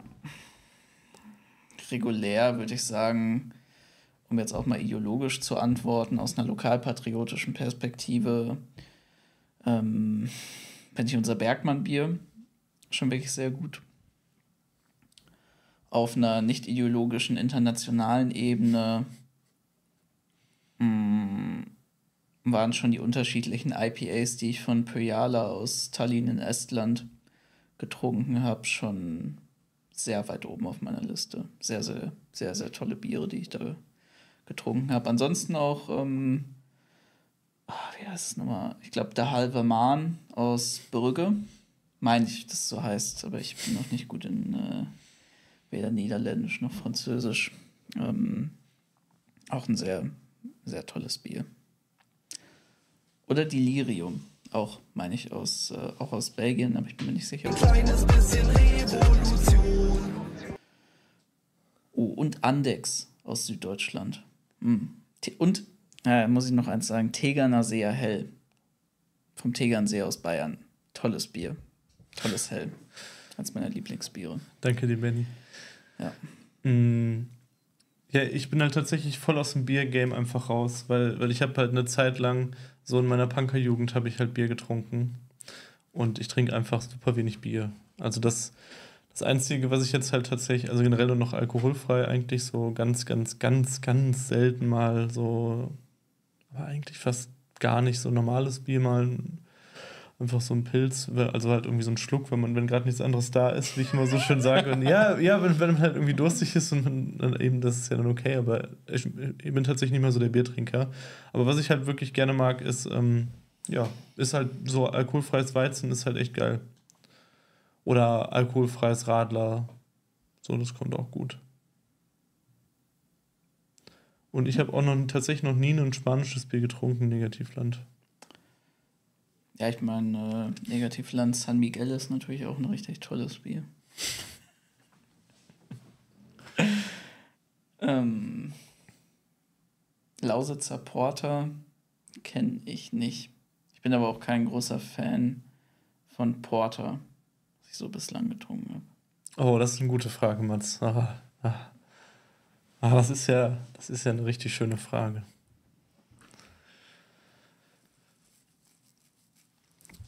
Das ist genau mein, meine Frage. Chronische Unzuverlässigkeit umgehen. Ja, ist ein großes Problem, ne? Ähm, ich glaube, da, da, muss, da muss einfach so eine. Also einmal. Einmal muss es auf jeden Fall. Äh, ja, Genauheit mehr. Das ist einer der Gründe, warum die Plattform gegründet wurde. Mm, und da muss man das einmal ins Feld führen. Also das ist auf der einen Seite braucht es halt Organisationen, wo man halt das ganz klar herausstellt, also wo man ganz klar sagt, von vornherein, ihr, die, die ihr euch anschließt, ihr müsst euch halt bekennen dazu, dass ihr halt hier in dieser Organisation nach einer kollektiven Verantwortung, nach einer Disziplin halt auch revolutionär arbeitet. Und das heißt halt auch, ähm, dass, äh, dass man sich dann halt dazu selbst verpflichtet, weil man das selber für richtig und notwendig hält. Das wird ja oft falsch verstanden, wenn halt jetzt so eine plattformistische Organisation das so vor sich herträgt, dass dann halt irgendwelche unorganisierten Anarchos irgendwie, oh mein Gott, das ist ja ganz schlimm oder so, aber das ist ja eine Selbstverpflichtung. Man kann sich ja immer noch aussuchen, halt irgendwie ähm, den Gemüsegarten zu selbst zu verwalten und da, da halt dann zu kommen und zu gehen, wo man möchte oder halt im im autonomen Zentrum ist es halt auch vielleicht nicht so schlimm, wenn die Leute mal vor verschlossener Türen stehen beim Barabend oder so. Das kann man dann immer noch machen. Aber wenn man halt Teil von revolutionären Prozess sein will, dann muss es halt auch äh, eine Verlässlichkeit geben und wenn man, und das finde ich dann halt auch, ähm, äh, genau, das ist halt, halt ein Schritt. Aber der andere Schritt ist natürlich, das dann auch umzusetzen. Also daran hapert es halt auch. Also mir scheint halt, mir scheint das halt, ähm, ist es vielleicht schon mal das eine, das so aufzustellen, diesen Anspruch. Mm, das sorgt natürlich schon für, für eine Entwicklung von anderen Kultur, weil dann man halt sieht, okay, da sind halt tatsächlich Leute, die diesen Anspruch schon mal haben. Aber was passiert, wenn das nicht, ähm, ähm, wenn das nicht äh, umgesetzt wird von den Mitgliedern, was ja nach wie vor möglich ist? Und dann finde ich es halt auch absolut richtig, dann halt zu sagen, dass man halt ähm, so, an sowas halt eben natürlich arbeitet ähm, in, einer, in der Struktur, dass man das halt ändert, aber dass man auch an einem gewissen Punkt halt sagt, wenn halt Mitglieder von einer Organisation das halt nicht einhalten können, dann müssen, dann können sie halt diesem Anspruch anscheinend nicht gerecht werden. Und daran hapert es halt, denke ich, oft, weil halt so eine, so eine Ausrichtung hat natürlich auch Konsequenzen und die müssen halt auch, finde ich, ähm, stärker ähm, umgesetzt werden, stärker eingehalten werden. Ich denke noch zwei Sachen dazu, die da, glaube ich, ziemlich stark reinspielen. Das eine ist eben, warum wir, glaube ich, in so einer großen Krise von Unzuverlässigkeit in der anarchistischen Bewegung sind. Aber das kann man ja auf viele Teile der radikalen Linken übertragen. Vor allem im Vergleich zu früher. Es gibt nochmal Gründe, die für den Anarchismus ganz spezifisch sind, wie beispielsweise diese Ablehnung dieses starke Beharren auf der Ablehnung von Autorität, die natürlich da reinspielt und generell so dieser Ansatz von starker individueller Lebensgestaltung und ähm, daraus so ein falsch verstandenes Konzept von Achtsamkeit, das mal eben noch als Fußnoten dazu.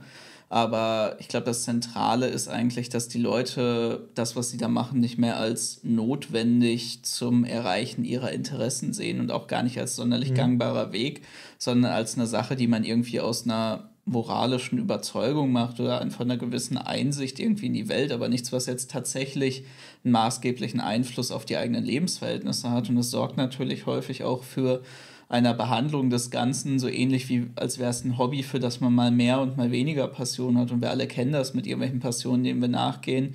Ähm, wenn es halt passt und wenn wir da wirklich drin stecken, dann ziehen wir es vielleicht sogar bis ans Ende unseres Lebens durch. Aber in vieler, vielen Phasen haben wir dann auch mal, dass wir sagen, boah, eigentlich habe ich da gar nicht, ich sehe das gar nicht mehr als notwendig, habe ich jetzt nicht so Lust zu, habe ich natürlich irgendwie noch eine Zuneigung zu und das ist ja auch irgendwie, weil es was Politisches ist, ja richtig, was man da macht, aber dann lasse ich es jetzt, dann konzentriere ich mich jetzt auf was anderes. Und das ist halt eine Sache, die gab es halt so früher nicht, aber es liegt auch daran, dass die Organisation und die Kämpfe ganz anders ausgerichtet waren, die man da gemacht hat. Und da war es halt einfach notwendig, die Dinge so zu tun. Aber es ist halt eine Sache, die spätestens ähm, oder eigentlich so, ja, schon, schon mit der 68er Zeit dann eigentlich äh, einen ziemlichen Wandel erfahren hat von dem, was eigentlich linke Radikalität bedeutet. Die Momente gab es natürlich vorher auch schon, aber da würde ich sagen, gab es diesen großen Umbruch im Westen. Und die andere Sache ist, die, glaube ich, sehr wichtig wäre, wäre, dass man den Leuten, wenn wir jetzt wirklich von so einer anarchistischen, plattformistischen Organisation beispielsweise ausgehen, dass man den Leuten am Anfang auch einfach mehr abverlangt. Das ist ja beispielsweise das, was in anderen Ländern anders ist und es ist ja eigentlich recht gut bekannt, dass wenn ich viel in eine Sache rein investiere, wenn ich schon viel Arbeit dafür getan habe, dann bin ich auch einfach tendenziell mehr dazu bereit, dabei zu bleiben, weil ich eben das nicht einfach so verloren gesehen haben möchte. Und das ist eben die Sache, die einfach bei vielen anarchistischen Organisationen so jetzt nicht sind, weil man versucht einfach die Leute darüber überhaupt erstmal zu sich bekommen, zu sich zu bekommen, weil man ja auch in so einer marginalen Position ist und man ja sagt, ah ja, wir müssen uns jetzt alle irgendwie möglichst viel organisieren. Ist ja wichtig, dass die Leute organisiert sind, dann bleiben sie auch dabei ist ja an sich auch erstmal eine richtige Sache. Aber es führt dann gerade bei diesen Gruppen, die eigentlich einen anderen Anspruch für sich formulieren, dazu, dass man dann trotzdem ganz viele Leute hat, die einfach dazukommen, die eigentlich was ganz anderes wollen, die aber einfach sich denken, ja, das klingt ja, das ist ja genau das, was ich eigentlich auch irgendwie will, aber die dann, wenn man mal ehrlich ist, eigentlich nicht wirklich gut in dieser Organisation aufgehalten. Und ich glaube deswegen, man sollte jetzt nicht den Weg gehen, wie ich glaube, ähm, hier die Black Rose Federation, ich weiß nicht, die haben ja auch natürlich nochmal große interne Reformen gehabt. Black Rose, eine Rosa Negra aus den Vereinigten Staaten. Aber da gab es ja, glaube ich, einen immens langen Prozess der Aufnahme in die Organisation. Oder auch bei lateinamerikanischen, spezifistischen Organisationen, wo das einfach gar nicht vergleichbar ist mit dem, was man vielleicht als Aufnahmeprozesse jetzt aus dem deutschsprachigen Raum kennt. Und ich glaube, da könnte man eigentlich auch für Deutschland, wenn man jetzt nochmal an eine Organisation rangeht oder auch in den bestehenden wahrscheinlich einen ganz guten Mittelweg eigentlich finden. Ja, Mats, das ist ja ein wichtiger Punkt, den du, den du ansprichst. Aber das gehört halt dann mit dazu. Also eben eine, eine sehr anspruchsvolle Organisierung, ähm, die halt, die halt ähm, große Verantwortung und Disziplin von ihren Mitgliedern erfordert. Das können halt aus unterschiedlichen Gründen ähm, Menschen halt nur mal nicht äh, machen. Und das passt dann halt auch nicht.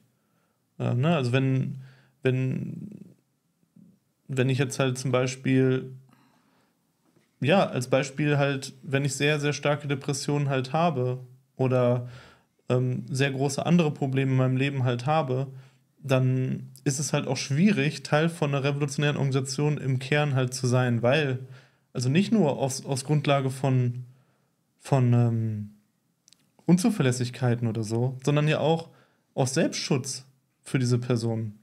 Weil jetzt gerade mag das halt vielleicht alles so ein bisschen äh, Larifari erscheinen, weil wir halt von wenig, äh, wenig Repression und so weiter betroffen sind, ähm, unsere, unsere Organisation und Ansätze. Aber man braucht halt auch eine gewisse Resilienz als, ähm, als wäre der halt in, im Zentrum von halt, von halt einer, einer anspruchsvollen Organisation steht. Und ähm, wenn halt auch staatliche Repressionen kommt oder Druck von politischen Gegnern kommt und so weiter und so fort, dann, dann muss man auch als Individuum ein Stück weit in der Lage sein, das halt ähm, aushalten zu können. Und deswegen ist es halt auch wichtig, dass halt, dass es halt unterschiedliche Wege und Ansätze auch innerhalb von so einer Organisierung gibt. Ne?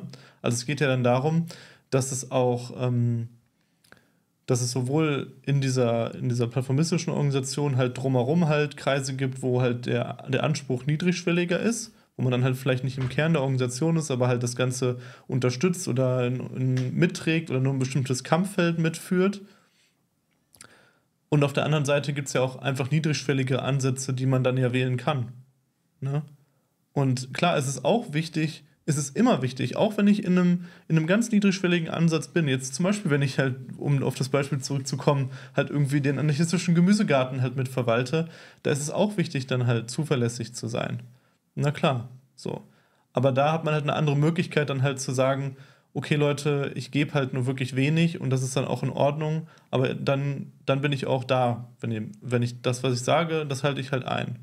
Und natürlich ist das, das ist keine ähm, rein individuelle Frage. Darauf will ich gar nicht hinaus, sondern das ist halt ja, ich, was wir jetzt gerade probiert haben aufzumachen, ist, dass sich dann halt, ähm, das sind ja dann halt kollektive, strukturelle Fragen, wie, wo man sich halt einbringt und, und wo man sich halt sieht und wie die Sachen halt ausgerichtet sind. Und ansonsten ist das halt einfach auch eine Frage von Kultur. Das ist auf einer breiteren Ebene eine kulturelle Frage, weil wir ja eben nicht die Leute zwingen können oder wollen. So. Und es ist ja nicht unsere Politik halt, jetzt irgendwie die Leute dann ähm, da was weiß ich, was mit denen zu machen, weil die halt ihre Pflichten nicht einhalten oder, oder ihre Aufgaben nicht machen oder so. So, ne? Und deswegen ist es ja eine, eine Frage von ko ne, einer kollektiven Verständnis und einer kollektiven Kultur und dass man das halt eben dann halt auch ähm, versteht, dass es, dass es halt eben nicht nur ein Hobby ist oder sonst irgendwas, sondern dass es halt speziell in den Zeiten, wo wir uns bewegen, wieder Stichwort zurück auf ähm, wie sich die Zustände äh, zuspitzen werden. Ja, es geht um halt verdammt viel, Leute. Es geht halt um verdammt viel. Und ähm, um unser aller Leben und um unsere alle ähm, materielle Grundlage und die unserer Liebsten. Und deswegen ähm, und das halt zu begreifen, denke ich, macht halt schon, macht halt schon viel. Und das muss man halt, denke ich, einfach auch dann einfordern, und, und, und anderen auch solidarisch miteinander besprechen halt einfach, ähm, was sind die Ansprüche, was erwartet man voneinander und so weiter und so fort. Und dann halt aber auch klar machen, wenn Leute dem nicht entsprechen können, dass man dann halt eben probiert, Angebote für diese Genossinnen zu schaffen, ähm, wo sie sich halt wiederfinden können, wo sie weiterkämpfen können, wo sie auch ihren Teil leisten können, aber der halt dann einfach niedrigschwelliger ist. Ne?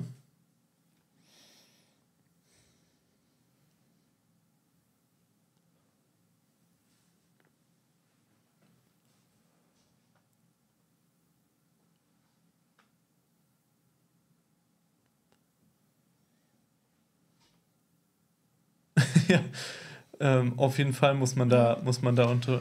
Wir können ja auch gerne, gerne mal auf das Thema noch so psychische Belastungen eingehen, weil ich das eigentlich interessant finde auch und weil wir da auch noch nicht so viel darüber geredet haben, weil das ja auch schon eine wichtige Frage ist. Mhm. Also ich finde es halt natürlich enorm wichtig, dass alle, alle auch ähm, Teil von Kampf sein können, egal was für Einschränkungen sie haben. So, das ist erstmal klar Grund, Grundbedingungen dass, ähm, dass alle ihren, ihren Teil in irgendeiner Form ähm, beitragen können und dass man, dass es auch eine Verantwortung von der Bewegung ist, äh, das zu ermöglichen, so unterschiedliche Ebenen halt zu schaffen. Gleichzeitig muss man halt auch sehen, dass halt die Strukturen, die wir halt haben, sind halt klein und, und ähm, sind halt ähm, schnell überfordert mit, mit Dingen. Und wenn, und es gibt halt einfach so viele Fälle in meiner, in meinen, in meiner Zeit, wo ich politisch aktiv bin, dass halt es dann dazu kommt, dass eine, dass eine politische Struktur fast nur noch dafür existiert, ja, darüber ähm, zu reden, was halt jetzt die, die Probleme ähm, der, der daran Beteiligten sind. Und daran sieht man einfach schon, es bräuchte halt auf einem ganz anderen Level halt Auffangmöglichkeiten für zum Beispiel Genossinnen, die in, die in schwierigen Lebenslagen sind oder die psychische Probleme haben und so. Und einiges kann man auffangen, aber es gibt halt auch so eine Grenze davon. Ne? Ähm, es gibt halt eine Grenze davon, wo halt auch ein, zumindest eine gesamte politische Struktur da nicht mehr mitkommt. Sodass halt einzelne Genossinnen dann halt auch in eine intensivere Unterstützung von, von, einz von einzelnen anderen halt gehen, die halt starke Probleme haben, ja. Aber es gibt dann auch eine Ebene von, wo man dann auch einfach sagen muss, so, es gibt halt diese, diese professionellen Reststrukturen von so Sozialstaat und ähm, Angeboten von Psychotherapie und so weiter und so fort. Und weil wir halt nicht die Stärke haben, das halt komplett auffangen zu können, ist es dann auch wichtig, äh, dann auch zu sagen, okay, ähm, dann halt auch einer Person zu helfen, ähm, in, in halt professionelle Hilfe zu kommen, um, um halt auch eine Struktur zu schützen. Da ist es halt leider ein, ein Widerspruch, in dem wir uns da ähm, befinden, ne? weil wir das halt, weil wir einen anderen Anspruch haben, weil man sich an, eigentlich anderes wünscht, aber das nur bis zu einem gewissen Punkt, wenn man es realistisch betrachtet, einhalten kann. Und erst wenn wir eine größere Massenbasis haben und größere Strukturen, Ressourcen und Möglichkeiten haben, dieses Thema noch besser bearbeiten können. Ja, Nightmare, das stimmt natürlich auch, aber ja. ich glaube, das Wichtige oder der Punkt bei der ganzen Sache ist eigentlich der, dass es eine, dass es eigentlich aktiv auch sehr nützlich ist, dass Anarchisten häufig genau so agieren oder dass Linksradikale genau so agieren und sich dann eben in alle Seiten sozial, in alle Sachen sozialarbeiterisch reinwerfen, eben aus dem Anspruch von Solidarität, von gegenseitiger Hilfe. Und das ist ja auch noch nicht mal eben, dass es aktiv so ist, dass ähm, es jetzt nur darum geht, dass Leute irgendwie innerhalb von den Strukturen psychisch krank werden oder mit einer psychischen Krankheit reinkommen und man sich dann da irgendwie um die Leute kümmert und sich verausgabt, sondern es gibt ja auch Leute, und das ist ja auch total naheliegend, das haben wir auch an anderer Stelle schon besprochen, gerade der Anarchismus ist halt auch einfach ein Auffangbecken für viele Leute, die sonst überhaupt keine Anschlussmöglichkeiten mehr haben, die sich ähm, als äh, die sich vereinsamt sehen und eigentlich auch in der Position gegen eigentlich alle gesellschaftlichen Normen häufig auch starke psychische Probleme haben. Das sind jetzt nicht alle logischerweise, aber das ist halt einfach ein ähm, Personentypus, der sich von anarchistischen Organisationen ange angezogen fühlt, gerade weil es eben diese starke Offenheit gibt. Und ähm, das führt halt auch einfach oft dazu, dass Leute aktiv dann auch Strukturen dafür nutzen. Und das soll jetzt gar kein Vorwurf sein, weil in einer ähm, schwierigen Situation, in einer Ausnahmesituation, wo man sonst keine Anlaufpunkte mehr hat, nehmen Leute halt alles das, was sie so bekommen. Davon kann jeder Kioskbesitzer ein Lied singen, so. Und das ist halt auch einfach was, was bei anarchistischen Strukturen recht häufig gibt. Und das Gleiche ist dann auch, ich habe auch schon anarchistische Gruppen gesehen, die sich auf einmal komplett da, darauf dann verausgabt haben. Und natürlich ist es irgendwo eine schöne Geschichte, die man dann danach erzählen kann. Und das ist ja auch was, was ich selber schon in anarchistischen Strukturen mitgemacht habe, dass man, was weiß ich, auf einmal alle Energie nur noch darauf verausgabt, irgendeiner obdachlosen Person im Viertel oder so zu helfen, ähm, mit ihren Problemen besser klarzukommen. Aber die Sache ist, am Ende des Tages ist diese Verausgabung darin dann nicht nur, aber ein Teil davon, was verhindert, dass wir irgendwie auf die Zustände so wirken können, dass es eine institutionalisierte Lösung davon gibt. Und es ist einfach so, dass es für die Zustände natürlich eine absolut tolle Sache ist, dass wir uns dann eben in diese, auf diese Individualfälle gänzlich konzentrieren und uns dann darin verausgaben. Und natürlich ist es jetzt nicht zielgerichtet, dass irgendwie, was weiß ich, der Staat ähm, äh, Leute für einen Billiglohn anstellt und sagt, scheuch mal, scheuch mal die ganzen Leute mit starken psychischen Problemen oder Drogenabhängigkeit in den linken Raum da hinten, wenn die Plenum machen, damit die sich da nur noch mit dir beschäftigen. Aber es ist natürlich so, dass auf eine indirekte Art und Weise das einfach total nützlich dafür ist, dass unsere politische Arbeit von einer tatsächlichen revolutionären Organisierung so nicht mehr zustande kommen kann.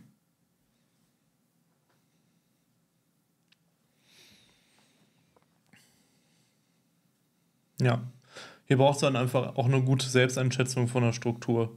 Eben das zu machen, was halt, was halt richtig und wichtig ist auf einer solidarischen äh, Ebene, was ja unser Grund, das ist ja auch eine unserer Grundeinstellungen zum Leben. Natürlich ist es eine Selbstverständlichkeit, weil man sich auch gar nicht davon trennen kann, weil das halt unsere, unser Leben auch ist einfach uns zur, zur Seite zu stehen, egal in welcher Situation und, und uns zu helfen. Das ist ja, das ist ja auch eine, für uns alle selber auch eine, eine Versicherung, so dass ich halt weiß, so, wenn, wenn ich halt Probleme habe, wenn es mir halt schlecht geht, dann kann ich mich halt auf Joshua und auf andere Genossinnen halt ähm, verlassen und auf Strukturen halt verlassen. Genauso wie sich andere Leute auf mich verlassen können. Das ist ja ein ganz, ganz klares äh, Prinzip der gegenseitigen Hilfe, was halt bei uns vorherrscht. Aber man muss halt auch dann einfach diese Einschätzung als Struktur haben, was können wir halt leisten und was halt nicht. Und darum geht es ja dann nicht darum, Leute fallen zu lassen oder dass er das kalt lässt oder so, oder so ganz berechnend maschinell daran zu gehen, sondern es geht einfach nur darum, dass, dass man halt äh, eine Handlungsfähigkeit als in, in einem revolutionären Kampf behält und das, und das bedeutet halt manchmal leider auch, ähm, manche Dinge, auch wenn es einem dann halt wehtut, nicht, mach, nicht machen zu können. Und ähm, damit auch dann die zusammenhängende Frage, wie pflegt ihr eure psychische Gesundheit? Genau wie du auch schreibst, Blumenhansi, das ist ja sicherlich ein Thema, was auch alle Menschen einfach betrifft. Auf Grundlage der Zustände ist es auch einfach nicht einfach, ähm, auch psychisch gesund zu bleiben. Und ja, da, da gibt es, denke ich, von uns beiden auch unterschiedliche, unterschiedliche Herangehensweisen. Also auf der einen Seite würde ich sagen, was mir halt hilft, ist bestimmte ähm, Gefühle und Situationen und ähm, schwierige Phasen auch dann auszuleben. Also natürlich, ich, ich bin jetzt nicht der Mensch, der jetzt halt, äh, das vielleicht auch ein Teil von einer, von einer männlichen Sozialisierung, die bei uns beiden dann natürlich auch vorherrscht, dass man jetzt halt mega emotional an alle Sachen rangeht. Aber für mich ist das halt dann sehr hilfreich, ähm, dass ich dann halt auch in bestimmten Punkten sage, so, jetzt lebe ich das halt aus. Also wirklich jetzt dann ähm, äh, wirklich setze ich mich auf diesem Gefühl halt aus und ähm, ja, lass halt die, lass halt die Gefühle raus, heul halt einfach, äh, guck halt Dystopien und äh, geh da halt so richtig tief rein, um das dann, um das halt dann wirklich auch zu spüren und dann und dann halt auch befreiter da rausgehen zu können. Das wäre jetzt eine Sache, die ich zum Beispiel mache. Ich glaube auch, ähm, die kulturellen Verarbeitungsmechanismen, die uns da offen stehen, ist, ist halt einfach was, was hilft. Also sei es jetzt Musik, sei es ähm, Film, sich durch irgendwas verstanden zu fühlen, das ist natürlich ein wichtiger Teil von Bewältigung von Sachen. Und ich glaube auch eine andere Sache ist wirklich auch ähm, einfach sich andere Meinungen zu einem Thema einzufangen. Also auch mit einfach sehr vielen unterschiedlichen Personen über vielleicht die Sachen, die einen beschäftigen, zu reden, kann halt auch einfach bei vielen Dingen sehr viel Abhilfe schaffen, wo man vielleicht auch in einem Gedankenzyklus so gefangen ist. Das, äh, das ist total wichtig und das auch bei den Sachen, die ich von mir selber kenne, wo ich jetzt ähm, also tatsächlich ähm, mit, ja, sagen wir mal, psychischen Schäden oder psychischen Krankheiten zu kämpfen hatte. Ähm, ein total wichtiger Schritt einfach. Wirklich Sachen, äh, Sachen auch mal auszusprechen, weil ich glaube, gerade auch für die Leute vielleicht von euch, die ein bisschen jünger sind, ist jetzt nicht mehr so ein riesiges Tabuthema wie früher, aber es ist immer noch so, dass es mit einem sehr starken Stigma, gerade je nachdem, auch in welcher Region von Deutschland man, Deutschland man lebt, in was für einer sozialen Gruppe, ist es einfach immer noch so und da ist es sehr wichtig, ähm, zu sprechen. Und ich glaube, vielleicht nochmal auf dieses Politische bezogen, mit auch wirklich dieser Sache von, mit den ganzen Sachen, die um uns herum passieren. Und da gibt es ja auch wirklich, ich kenne das ja auch von mir teilweise, dass man gerne mal in so einen Weltschmerz verfällt. Ich meine, keine Ahnung, hört euch mal das Intro von Folge 666 an. Das äh, passt, glaube ich, ganz, passt, glaube ich, äh, fast, glaube ich, ganz gut, das, wie ich mich häufig äh, der Welt gegenüber fühle.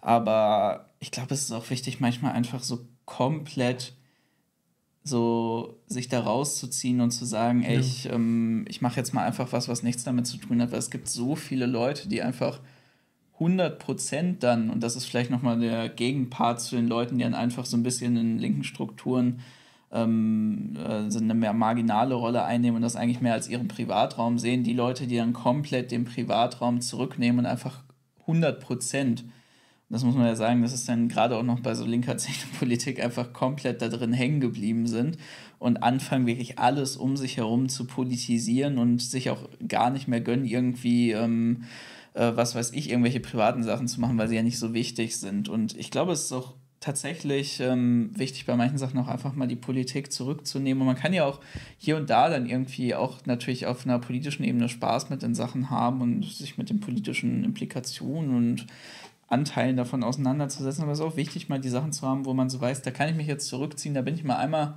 komplett raus aus dem Allem. So, sei es Sport, sei es ähm, wenn man irgendwie Musiksubkultur was gut findet, sei es auch irgendein Hobby oder so, was weiß ich, Tabletop, Videospiele, was auch immer, einfach wo man mal sagt, äh, oder auch wandern gehen. Ich gehe einfach raus, ich entziehe mich dem jetzt mal so ein bisschen und kann da auch wieder die Kraft tanken, kann vielleicht auch wirklich mal die Ruhe haben, um währenddessen auch ein paar Sachen für mich nochmal Revue passieren zu lassen, die da passiert sind und vielleicht eine andere Haltung dazu zu entwickeln. Und das Letzte ist, und das, das finde ich ganz wichtig, trotzdem bei diesen ganzen Sachen, die passieren, mit denen man konfrontiert ist, den Schwierigkeiten auch der eigenen politischen Arbeit und den Sachen, die auf der Welt passiert, wirklich den Anspruch zu haben, sie auch einfach mal ernsthaft zu verstehen.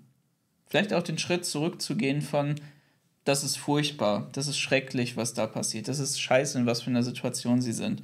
Wirklich auch einfach mal versuchen, diesen kühlen, analytischen Blick dafür zu bekommen und zu sagen, ist so, aber ich will jetzt wissen, warum. Und ich glaube, das ist was, was bei vielen Leuten eben dazu geführt hat, dass sie überhaupt in der Lage waren, sich ihr ganzes Leben mit so einer Scheiße halt rumzuschlagen und dazu vielleicht auch ein paar ganz, ganz tolle große Bücher zu schreiben.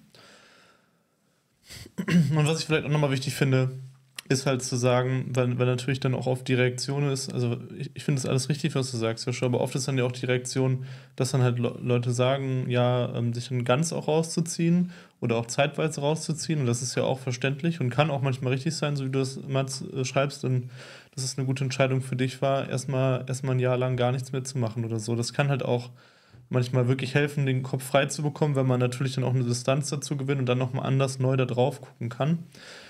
Aber gleichzeitig zeigt es natürlich auch, dass wenn ich halt, dass wenn eine Struktur, mit politische Sachen sich, mich so belasten, dann muss ja auch was mit den Ansätzen, die ich halt da mhm. gemacht habe, einfach falsch laufen. Weil das sollte halt ja was sein, was halt uns primär stärkt. So. Natürlich kann das halt, ja. Natürlich kann das halt auch anstrengend sein und kann da Probleme machen, aber es, es, es, kann, es muss halt trotzdem was sein, was ja primär Teil unseres Lebens ist und uns halt nicht primär belastet. So. Und ähm, dann, dann ist es halt auch ganz wichtig, da halt zu hinterfragen, was ist denn halt mit diesen Strukturen, in denen man sich befunden hat, auch falsch und dann halt auch manchmal Sachen ganz neu aufzuziehen, um, um halt, um halt mit frischem Wind halt ähm, zu gucken, ja, wie kriegt man es denn hin, eine andere Kultur dann halt auch in Strukturen ähm, äh, ja, umzusetzen und halt etwas zu schaffen, was einen halt wirklich eher stärkt, als halt primär belastet. So, und wenn halt P Politik nur daraus besteht, irgendwie äh, einmal, einmal Woche auf, auf Plenum zu setzen, ähm, irgendwie rumzulabern und halt irgendwie auf eine Demo zu laufen, dann kann das ja auch nicht sein, was irgendwie uns halt stärkt. So. Dann zieht das halt nur runter. Ja, klar, das ist ja auch, das ist ja auch richtig. Das ist ja auch das, was äh, was wir in vielen Folgen sagen. Ne? Das, das stimmt absolut, aber ich finde, man muss trotzdem festhalten, dass das, was wir machen, keine Spaßveranstaltung nein, ist nein. bei aller Umgestaltung. Nein, ne? Weil das ist dann auch nicht. wieder das, was Leute dann ja auch sagen, ja, es ist schlimm, dass die Leute ausgebrannt sind. Und eigentlich müssen wir es ja so schaffen, dass es einfach ist ein absoluter Wohlfühlraum. Ist eigentlich auch ein Wohlfühltraum, das, was wir hier eigentlich so machen wollen. So es geht darum, dass, wie wir jetzt eben diese ähm, revolutionäre Organisierung machen, dass das auch einfach eine total angenehme Sache ist und uns ähm, Nein, total in allem bestärkt. Nein, ich weiß nicht, dass du das meinst. Ich sage nur, das ist halt, ja. das ist halt was, was man, wo man sich auch verwehren muss, weil es führt einen auch in sehr, sehr viele Sackgassen und das sorgt auch für so einen auch einfach falschen Blick auf das, was wir uns dann bei allem Spaß. Ich meine, wir sind hier zwei Typen, die jetzt hier in einem Twitch-Stream sitzen und irgendwie mit euch quatschen. Natürlich macht das, ist das jetzt im Vergleich zu dem, was äh, ist natürlich Teil davon, ne? sonst würden wir es nicht machen, wir finden das ja auch richtig. es ist ja noch so der deutlich angenehmere Part von revolutionärer Organisierung, aber im Großen und Ganzen, so viel Spaß, wie das jetzt auch hier macht, ist das halt keine Spaßveranstaltung. Aber das ist nur, nur noch mal ein Satz dazu, weil es, das ist klar, so dass halt, dass es halt nicht durchgehend Spaß macht, aber es geht ja darum, und dass es halt auch keine Safe Zone ist oder so, die man sich halt schaffen kann, revolutionäre Arbeit. Dass es halt auch immer mal wehtut und dass es auch immer einfach harte Arbeit ist, dann was weiß ich, in irgendeinem Keller sitzen und irgendwelche Broschüren halt anfertigen und was weiß ich und stundenlanges Plakatieren und weiß der Geier, was man halt alles, was halt jetzt auch nicht so. Aber es geht ja darum, dass wir halt alle was finden, wo wir uns halt sehen, grundsätzlich. Und was halt nicht nur halt einfach nur, ich mach's, weil es halt ähm, gemacht werden muss, ist. Und das ist, ich, ich bin der festen Überzeugung, auch jetzt, Urst, ähm, für dich zum Beispiel, wo du dich fragst, ja, ähm, dass es leider in diesem System nicht möglich ist, was Sinnvolles zu machen und so. Ich glaube halt ganz fest daran, dass es halt für alle eine Möglichkeit gibt, weil wir haben halt alle unterschiedliche Fähigkeiten und Stärken und halt, es ist nun mal so, dass unsere Strukturen oftmals halt darauf ausgerichtet sind, auf, auf einen bestimmten Typus, Men typ, Typus Mensch eigentlich und auf eine bestimmte Herangehensweise. Also Leute, die gut labern können, Leute, die vielleicht auch gut organisieren können, die vielleicht auch gut ähm, Theorie machen können oder sonst irgendwas. Aber es gibt halt auch Leute, die können zum Beispiel, ein, die sind halt künstlerisch total begabt und die gehen halt darin auf. Dann stellt halt eure Kunst in den Dienst halt auch der Sache. So. Oder Leute, die halt, die halt eben ähm, zum Beispiel halt gerne plakatieren gehen. Dann sollen die Leute halt die, die gerne plakatieren gehen, halt die ganze Zeit plakatieren, wenn, wenn sie daran aufgehen und halt sich einen Plan machen und halt die ganze Stadt vollkleistern, aber die müssen dann halt nicht eine Rede halten, wo sie halt Angst vor haben und wo sie halt irgendwie, wo sie sich halt schlaflose Nächte machen und sich denken, ah, was, was mache ich jetzt hier? Oder halt auch der Community Guard, wenn ich halt Bock habe, in der Erde zu wühlen, dann kann ich das halt auch sinnvoll in einen revolutionären Prozess einbinden. Also darum geht es mir halt, dass man dass man halt für sich selber was findet, wo man halt drin aufgeht, auch wenn das halt nicht nur heiter Sonnenschein immer ist. Und da bin ich der Überzeugung von, dass wir das alle finden können. Ja.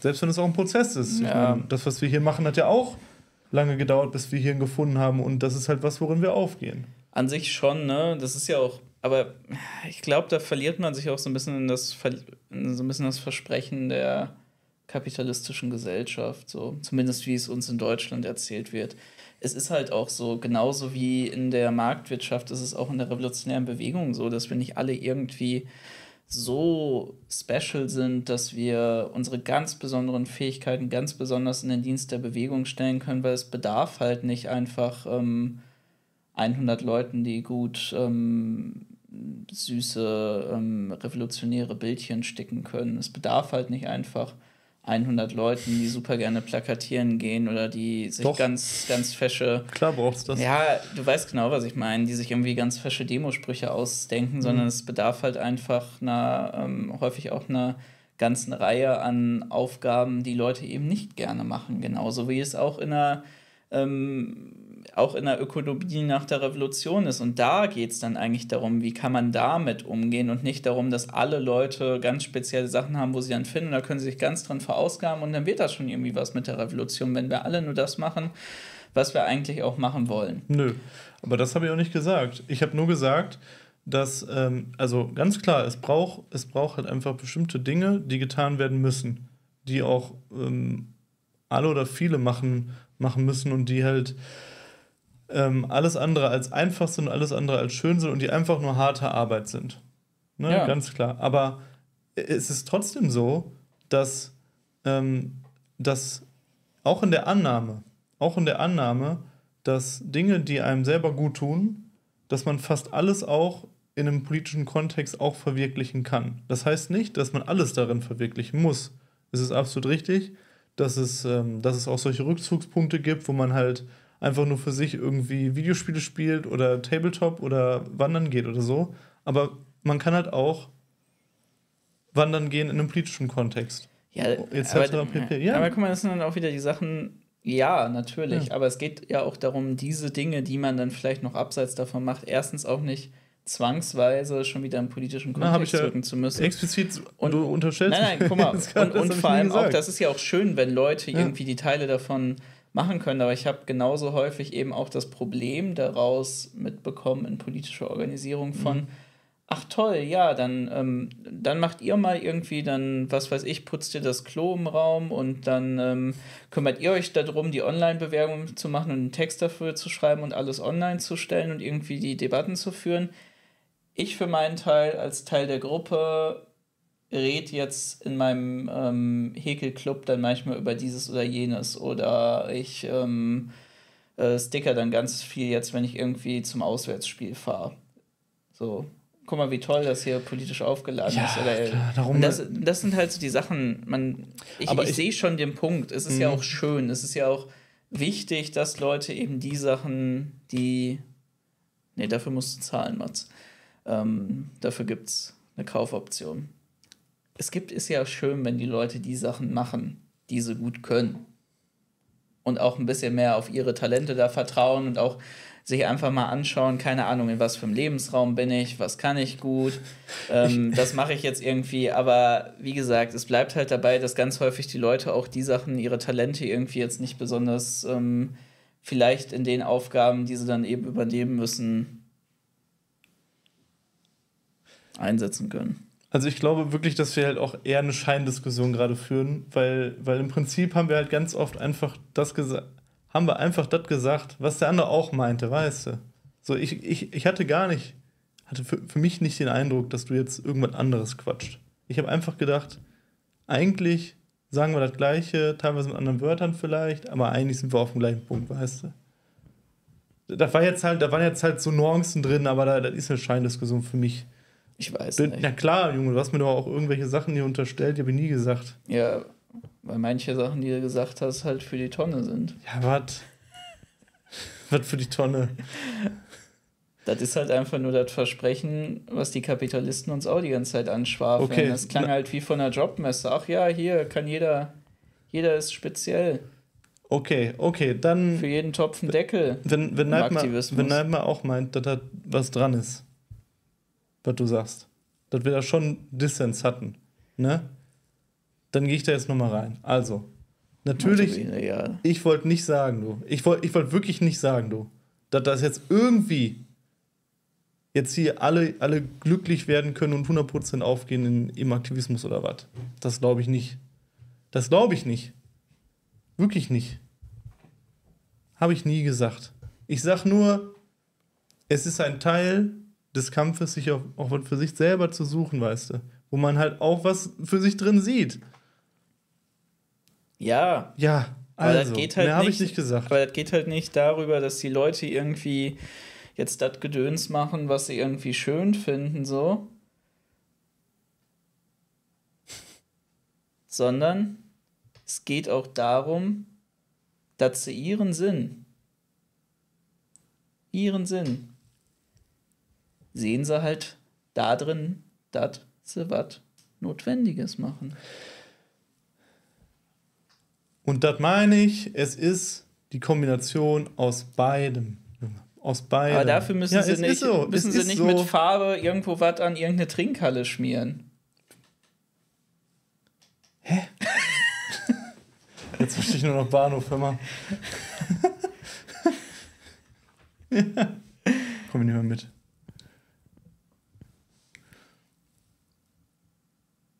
Das Leben ist kein Ponyhof. Ja. So. Letzte Runde. Letzte Runde, Leute. Letzte Runde. Schreibt noch was rein, worüber wir noch reden sollen. Vielleicht haben wir auch noch irgendwas vergessen. Ich schaue nochmal. War aber ein interessanter Austausch, fand ich. Ist ein wichtiges Thema, wo man noch immer wieder drüber redet und drüber reden kann. Mhm. Marius hat noch gefragt, wie wir den Nestor Machno-Film fanden. Ich habe nur die, die Serie gesehen Serie, zum Teil. Ja. Die Ukra das war, glaube ich, so eine ukrainische, russische, ne? Genau, es gibt so eine, so eine Serie über, über Machno, die, die witzig ist. Also, die ist halt teilweise ganz cool und teilweise ein bisschen wild, aber ich glaube, die gibt es auch nicht auf Deutsch oder so, sondern nur mit irgendwie Untertiteln oder so. Mhm. Ja, war eigentlich recht unterhaltsam. Historisch jetzt nicht. Ah, du meintest die Serie, okay. Ja, ja ich finde es alleine halt cool. Was ich halt schon geil fand, war so eine Visualisierung einfach. Das hat mir halt schon sehr gut gefallen. Ich finde, der Schauspieler aus der Machno-Serie, der ist auch irgendwie gut getroffen. Also ich finde, der sieht halt Machno auch so ähnlich, finde ich. Und ja, ich fand wirklich so diese, diese Visualisierung von, von dieser ganzen Zeit halt schon voll nett und es gab halt so echt Aspekte in, in dieser Serie, die ich dann halt auch gut umgesetzt fand, aber dann teilweise wirkt es auch, ah, ich weiß nicht mehr genau, was das war, aber es war dann halt schon auch so kitschig irgendwie so ein bisschen und so. ja, ich glaube, es gab am Anfang diese Szene, wo irgendwie Mach nur getauft werden soll und dann fällt mhm. irgendwie die Ikone runter oder so. Ja, genau. irgendwie so erst der ist dann doch manchmal so ein bisschen billig dann auch ja, einfach. Das, äh Ja, Nightmare, ich glaube, das war auch so ein bisschen den Dissens, den ich gesehen habe. Aber ich will jetzt hier nicht irgendwie wieder was aufmachen. Haben uns ja vertragen.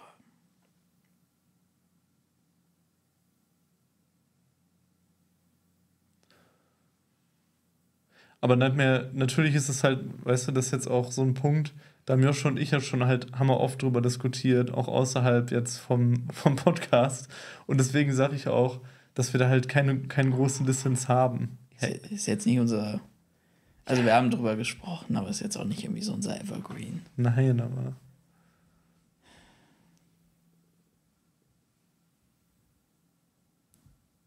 Wo ist das auf jeden Fall mal Konsumkritik auf einem anderen Level?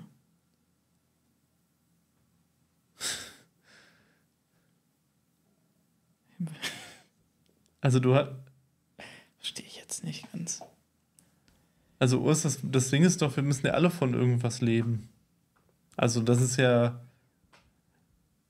Dann, dann setzt du dich ja quasi, also du kannst ja in diesem System überhaupt null, null jetzt halt so leben, dass halt du niemand anderen Menschen schadest oder so, über, weil du halt eh konsumieren musst, Steuer zahlen musst und so, was halt dann verwendet wird, äh, für was weiß ich und was halt für Folgen hat. Und du kannst ja gar nicht halt frei davon leben, anderen, anderen Menschen Schaden zuzufügen. Und klar gibt es halt vielleicht so ein paar objektive Sachen, wo man sagen kann, weiß ich nicht, wenn ich jetzt Zuhälter bin oder so, dann ist es halt so objektiv halt was, womit ich halt Menschen halt sehr aktiven Schaden zufüge. Und das sollte ich halt nicht tun. Ähm, aber was hast du gesagt, was du, was, was hast du geschrieben, was du warst?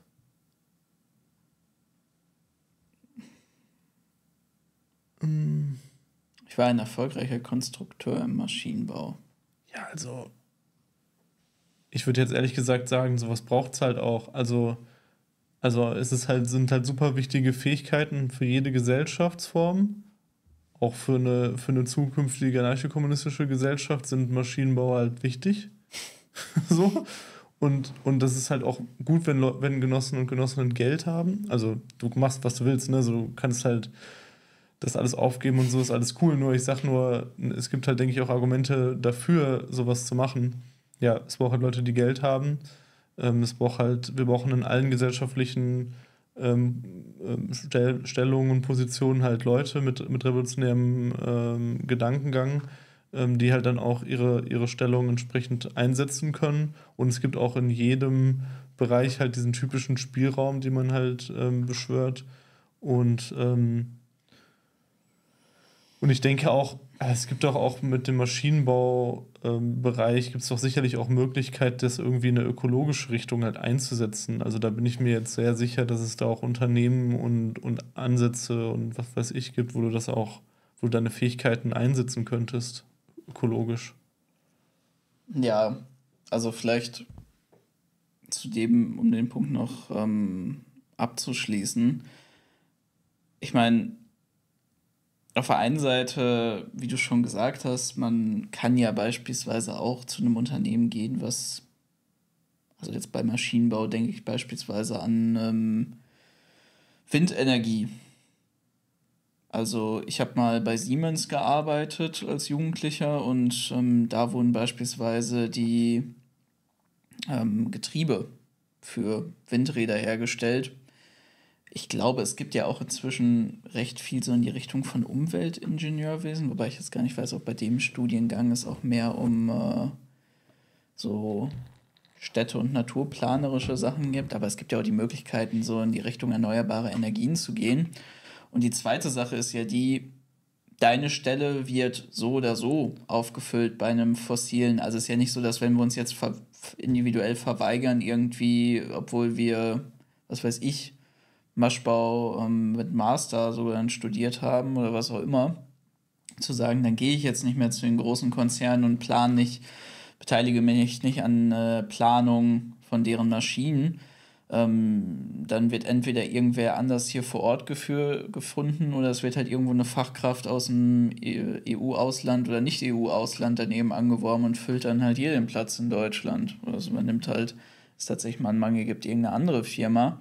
Am Ende des Tages ist es ja wichtig, dass Leute mit sowohl einem ökologischen als auch mit einem revolutionären Bewusstsein in den Firmen sitzen, damit dann auch beispielsweise von der Belegschaft mitgetragen und auch zu ihrem sozialen Vorteil solche Transformationsprozesse genau. gemacht werden können. Weil das ist ja auch gerade nochmal ein besonderes Problem, gerade wenn es dann eben auch keine gleichzeitige klassenkämpferische Perspektive und eine ökologische in den Belegschaften gibt und sowas dann von oben beispielsweise durchgeführt werden muss durch parlamentarische Vertreter, die sagen, wir müssen irgendwie auf die Klimakrise reagieren, dass es dann auch noch hier ähm, für die Belegschaften richtig schlecht ausgeht. Und deswegen, ja. wenn man die Fähigkeiten erworben hat, so Ne, wie gesagt, wie Marian auch gesagt hat, es geht jetzt nicht darum, dass du jetzt ähm, von uns jetzt wieder hier angeworben werden sollst, irgendwo zu arbeiten. Ähm, das hat ja viele Faktoren, aber es äh, gibt auch einige Argumente, die dafür sprechen würden, das eben zu machen. Genau, Ost. Also du, wir reden jetzt nicht, ne? Also dass du machst, was du möchtest und es geht jetzt nicht darum, dich da zu überzeugen, wieder in deinen Job zurückzugehen oder so. Aber wenn man das jetzt nur rein aus einer revolutionären Perspektive betrachtet, ja, dann würde ich immer sagen, und jetzt unabhängig von dir, wenn jetzt irgendwer anders gerade noch Maschinenbau ähm, studiert oder da, da drin ist und du überlegst halt irgendwie rauszugehen oder so, und äh, aber du könntest es noch mal weitermachen, weil du es weiter noch mit dir vereinbaren kannst, aber mach's halt nicht, sondern organisier halt dort gewerkschaftliche Kämpfe. Setz dich halt ein, dass es halt eine, eine ja, dort an der Basis von dem, von dem Betrieb halt eine, eine gewerkschaftlichen Aufbau gibt, der sich halt für eine ökologische und ähm, klassenkämpferische Perspektive einsetzt. Das ist immer, ähm, also das ist halt immer der Punkt, den wir vertreten würden. Richtig. Und natürlich Nightmare, der Klassiker. Ja. Das ist eigentlich auch ein, natürlich mal wieder ein guter, guter Abschlusssatz von Nightmare. Und nein, Urs, nein, du bist nicht der Spinner, das muss man wirklich gar, gar kein Spinner. nicht damit sagen. Aber vielleicht noch als. Ist ja richtig, also dein, dein, dein Impuls ist ja auch, dann, dann ist ja ganz menschlich. Das ist ja ein ganz menschlicher Impuls. So, vielleicht als letzte Frage dann noch von Mats. Ja. Ist denn Air-Up ein Schritt in das richtige Leben im Falschen? Äh. Das musst du dich bekennen. Du hast ja immer dich der Flasche verweigert. nee, also tatsächlich, ich glaube, für die, ähm, für die meisten Leute ist es, ist es glaube ich, halt nichts. Also, ne, es ist halt, wenn ihr das noch nicht ausprobiert habt und nicht wisst, was das ist, das ist halt einfach so ein Aroma, was halt ähm, auf der Flasche draufgesetzt ist, wo man dann halt äh, einfach nur einen anderen Geschmack im Wasser hat. Aber ich trinke halt fast nur Wasser und halt schon seit vielen, vielen Jahren einfach nur ähm, Wasser. Und dann war das halt für mich halt total interessant, jetzt einfach nochmal so was anderes zu haben, wo man halt dann so einen leichten Geschmack hat, ohne jetzt irgendwelche Inhaltsstoffe oder so, wenn es mir darum dann nicht geht, sondern und ja, für mich funktioniert das eigentlich ziemlich gut und ich glaube, also das funktioniert halt für Leute sehr unterschiedlich. Also Leute nehmen das auch sehr unterschiedlich wahr mit dem Aroma. Es gibt Leute, die das halt fast gar nicht schmecken und es gibt halt Leute, die das sehr stark schmecken. Das ist halt von Mensch zu Mensch unterschiedlich, würde ich sagen. Und ähm, ich mag das halt auch, weil ich halt so ein Flaschenkind bin und so.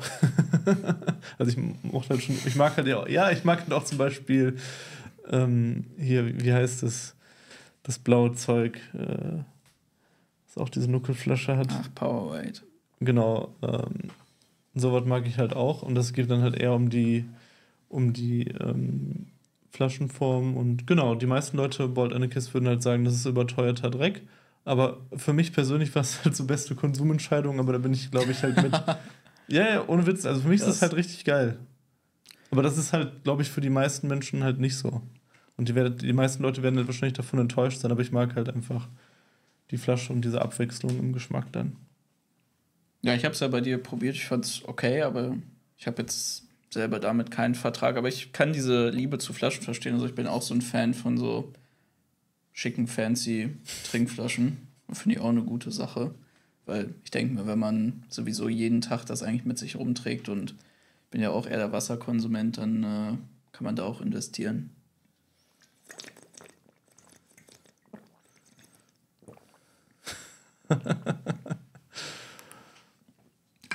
Richtig, Mats. Am Ende des Tages finanziert ihr unsere Luxusprodukte, damit wir auch gescheit arbeiten können. ja, ist, ist alles eine Investition in die Revolution. Ist auch ein richtig krasses Luxusprodukt. ich weiß nicht, wie viel das froh. Ja, aber das ist ein anderes Thema. Ja, in dem Sinne würde ich sagen, war wirklich ein, für einfach nur so chatten, ein richtig, äh, ja, richtig schöner Stream. Genau, kauft über Tage Merch.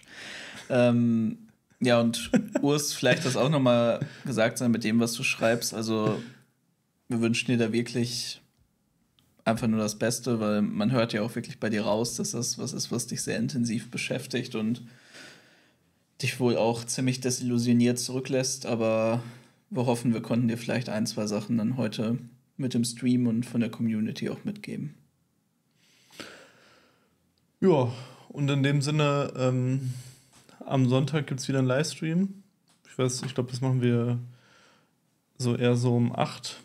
Weil ich habe noch ein Treffen davor.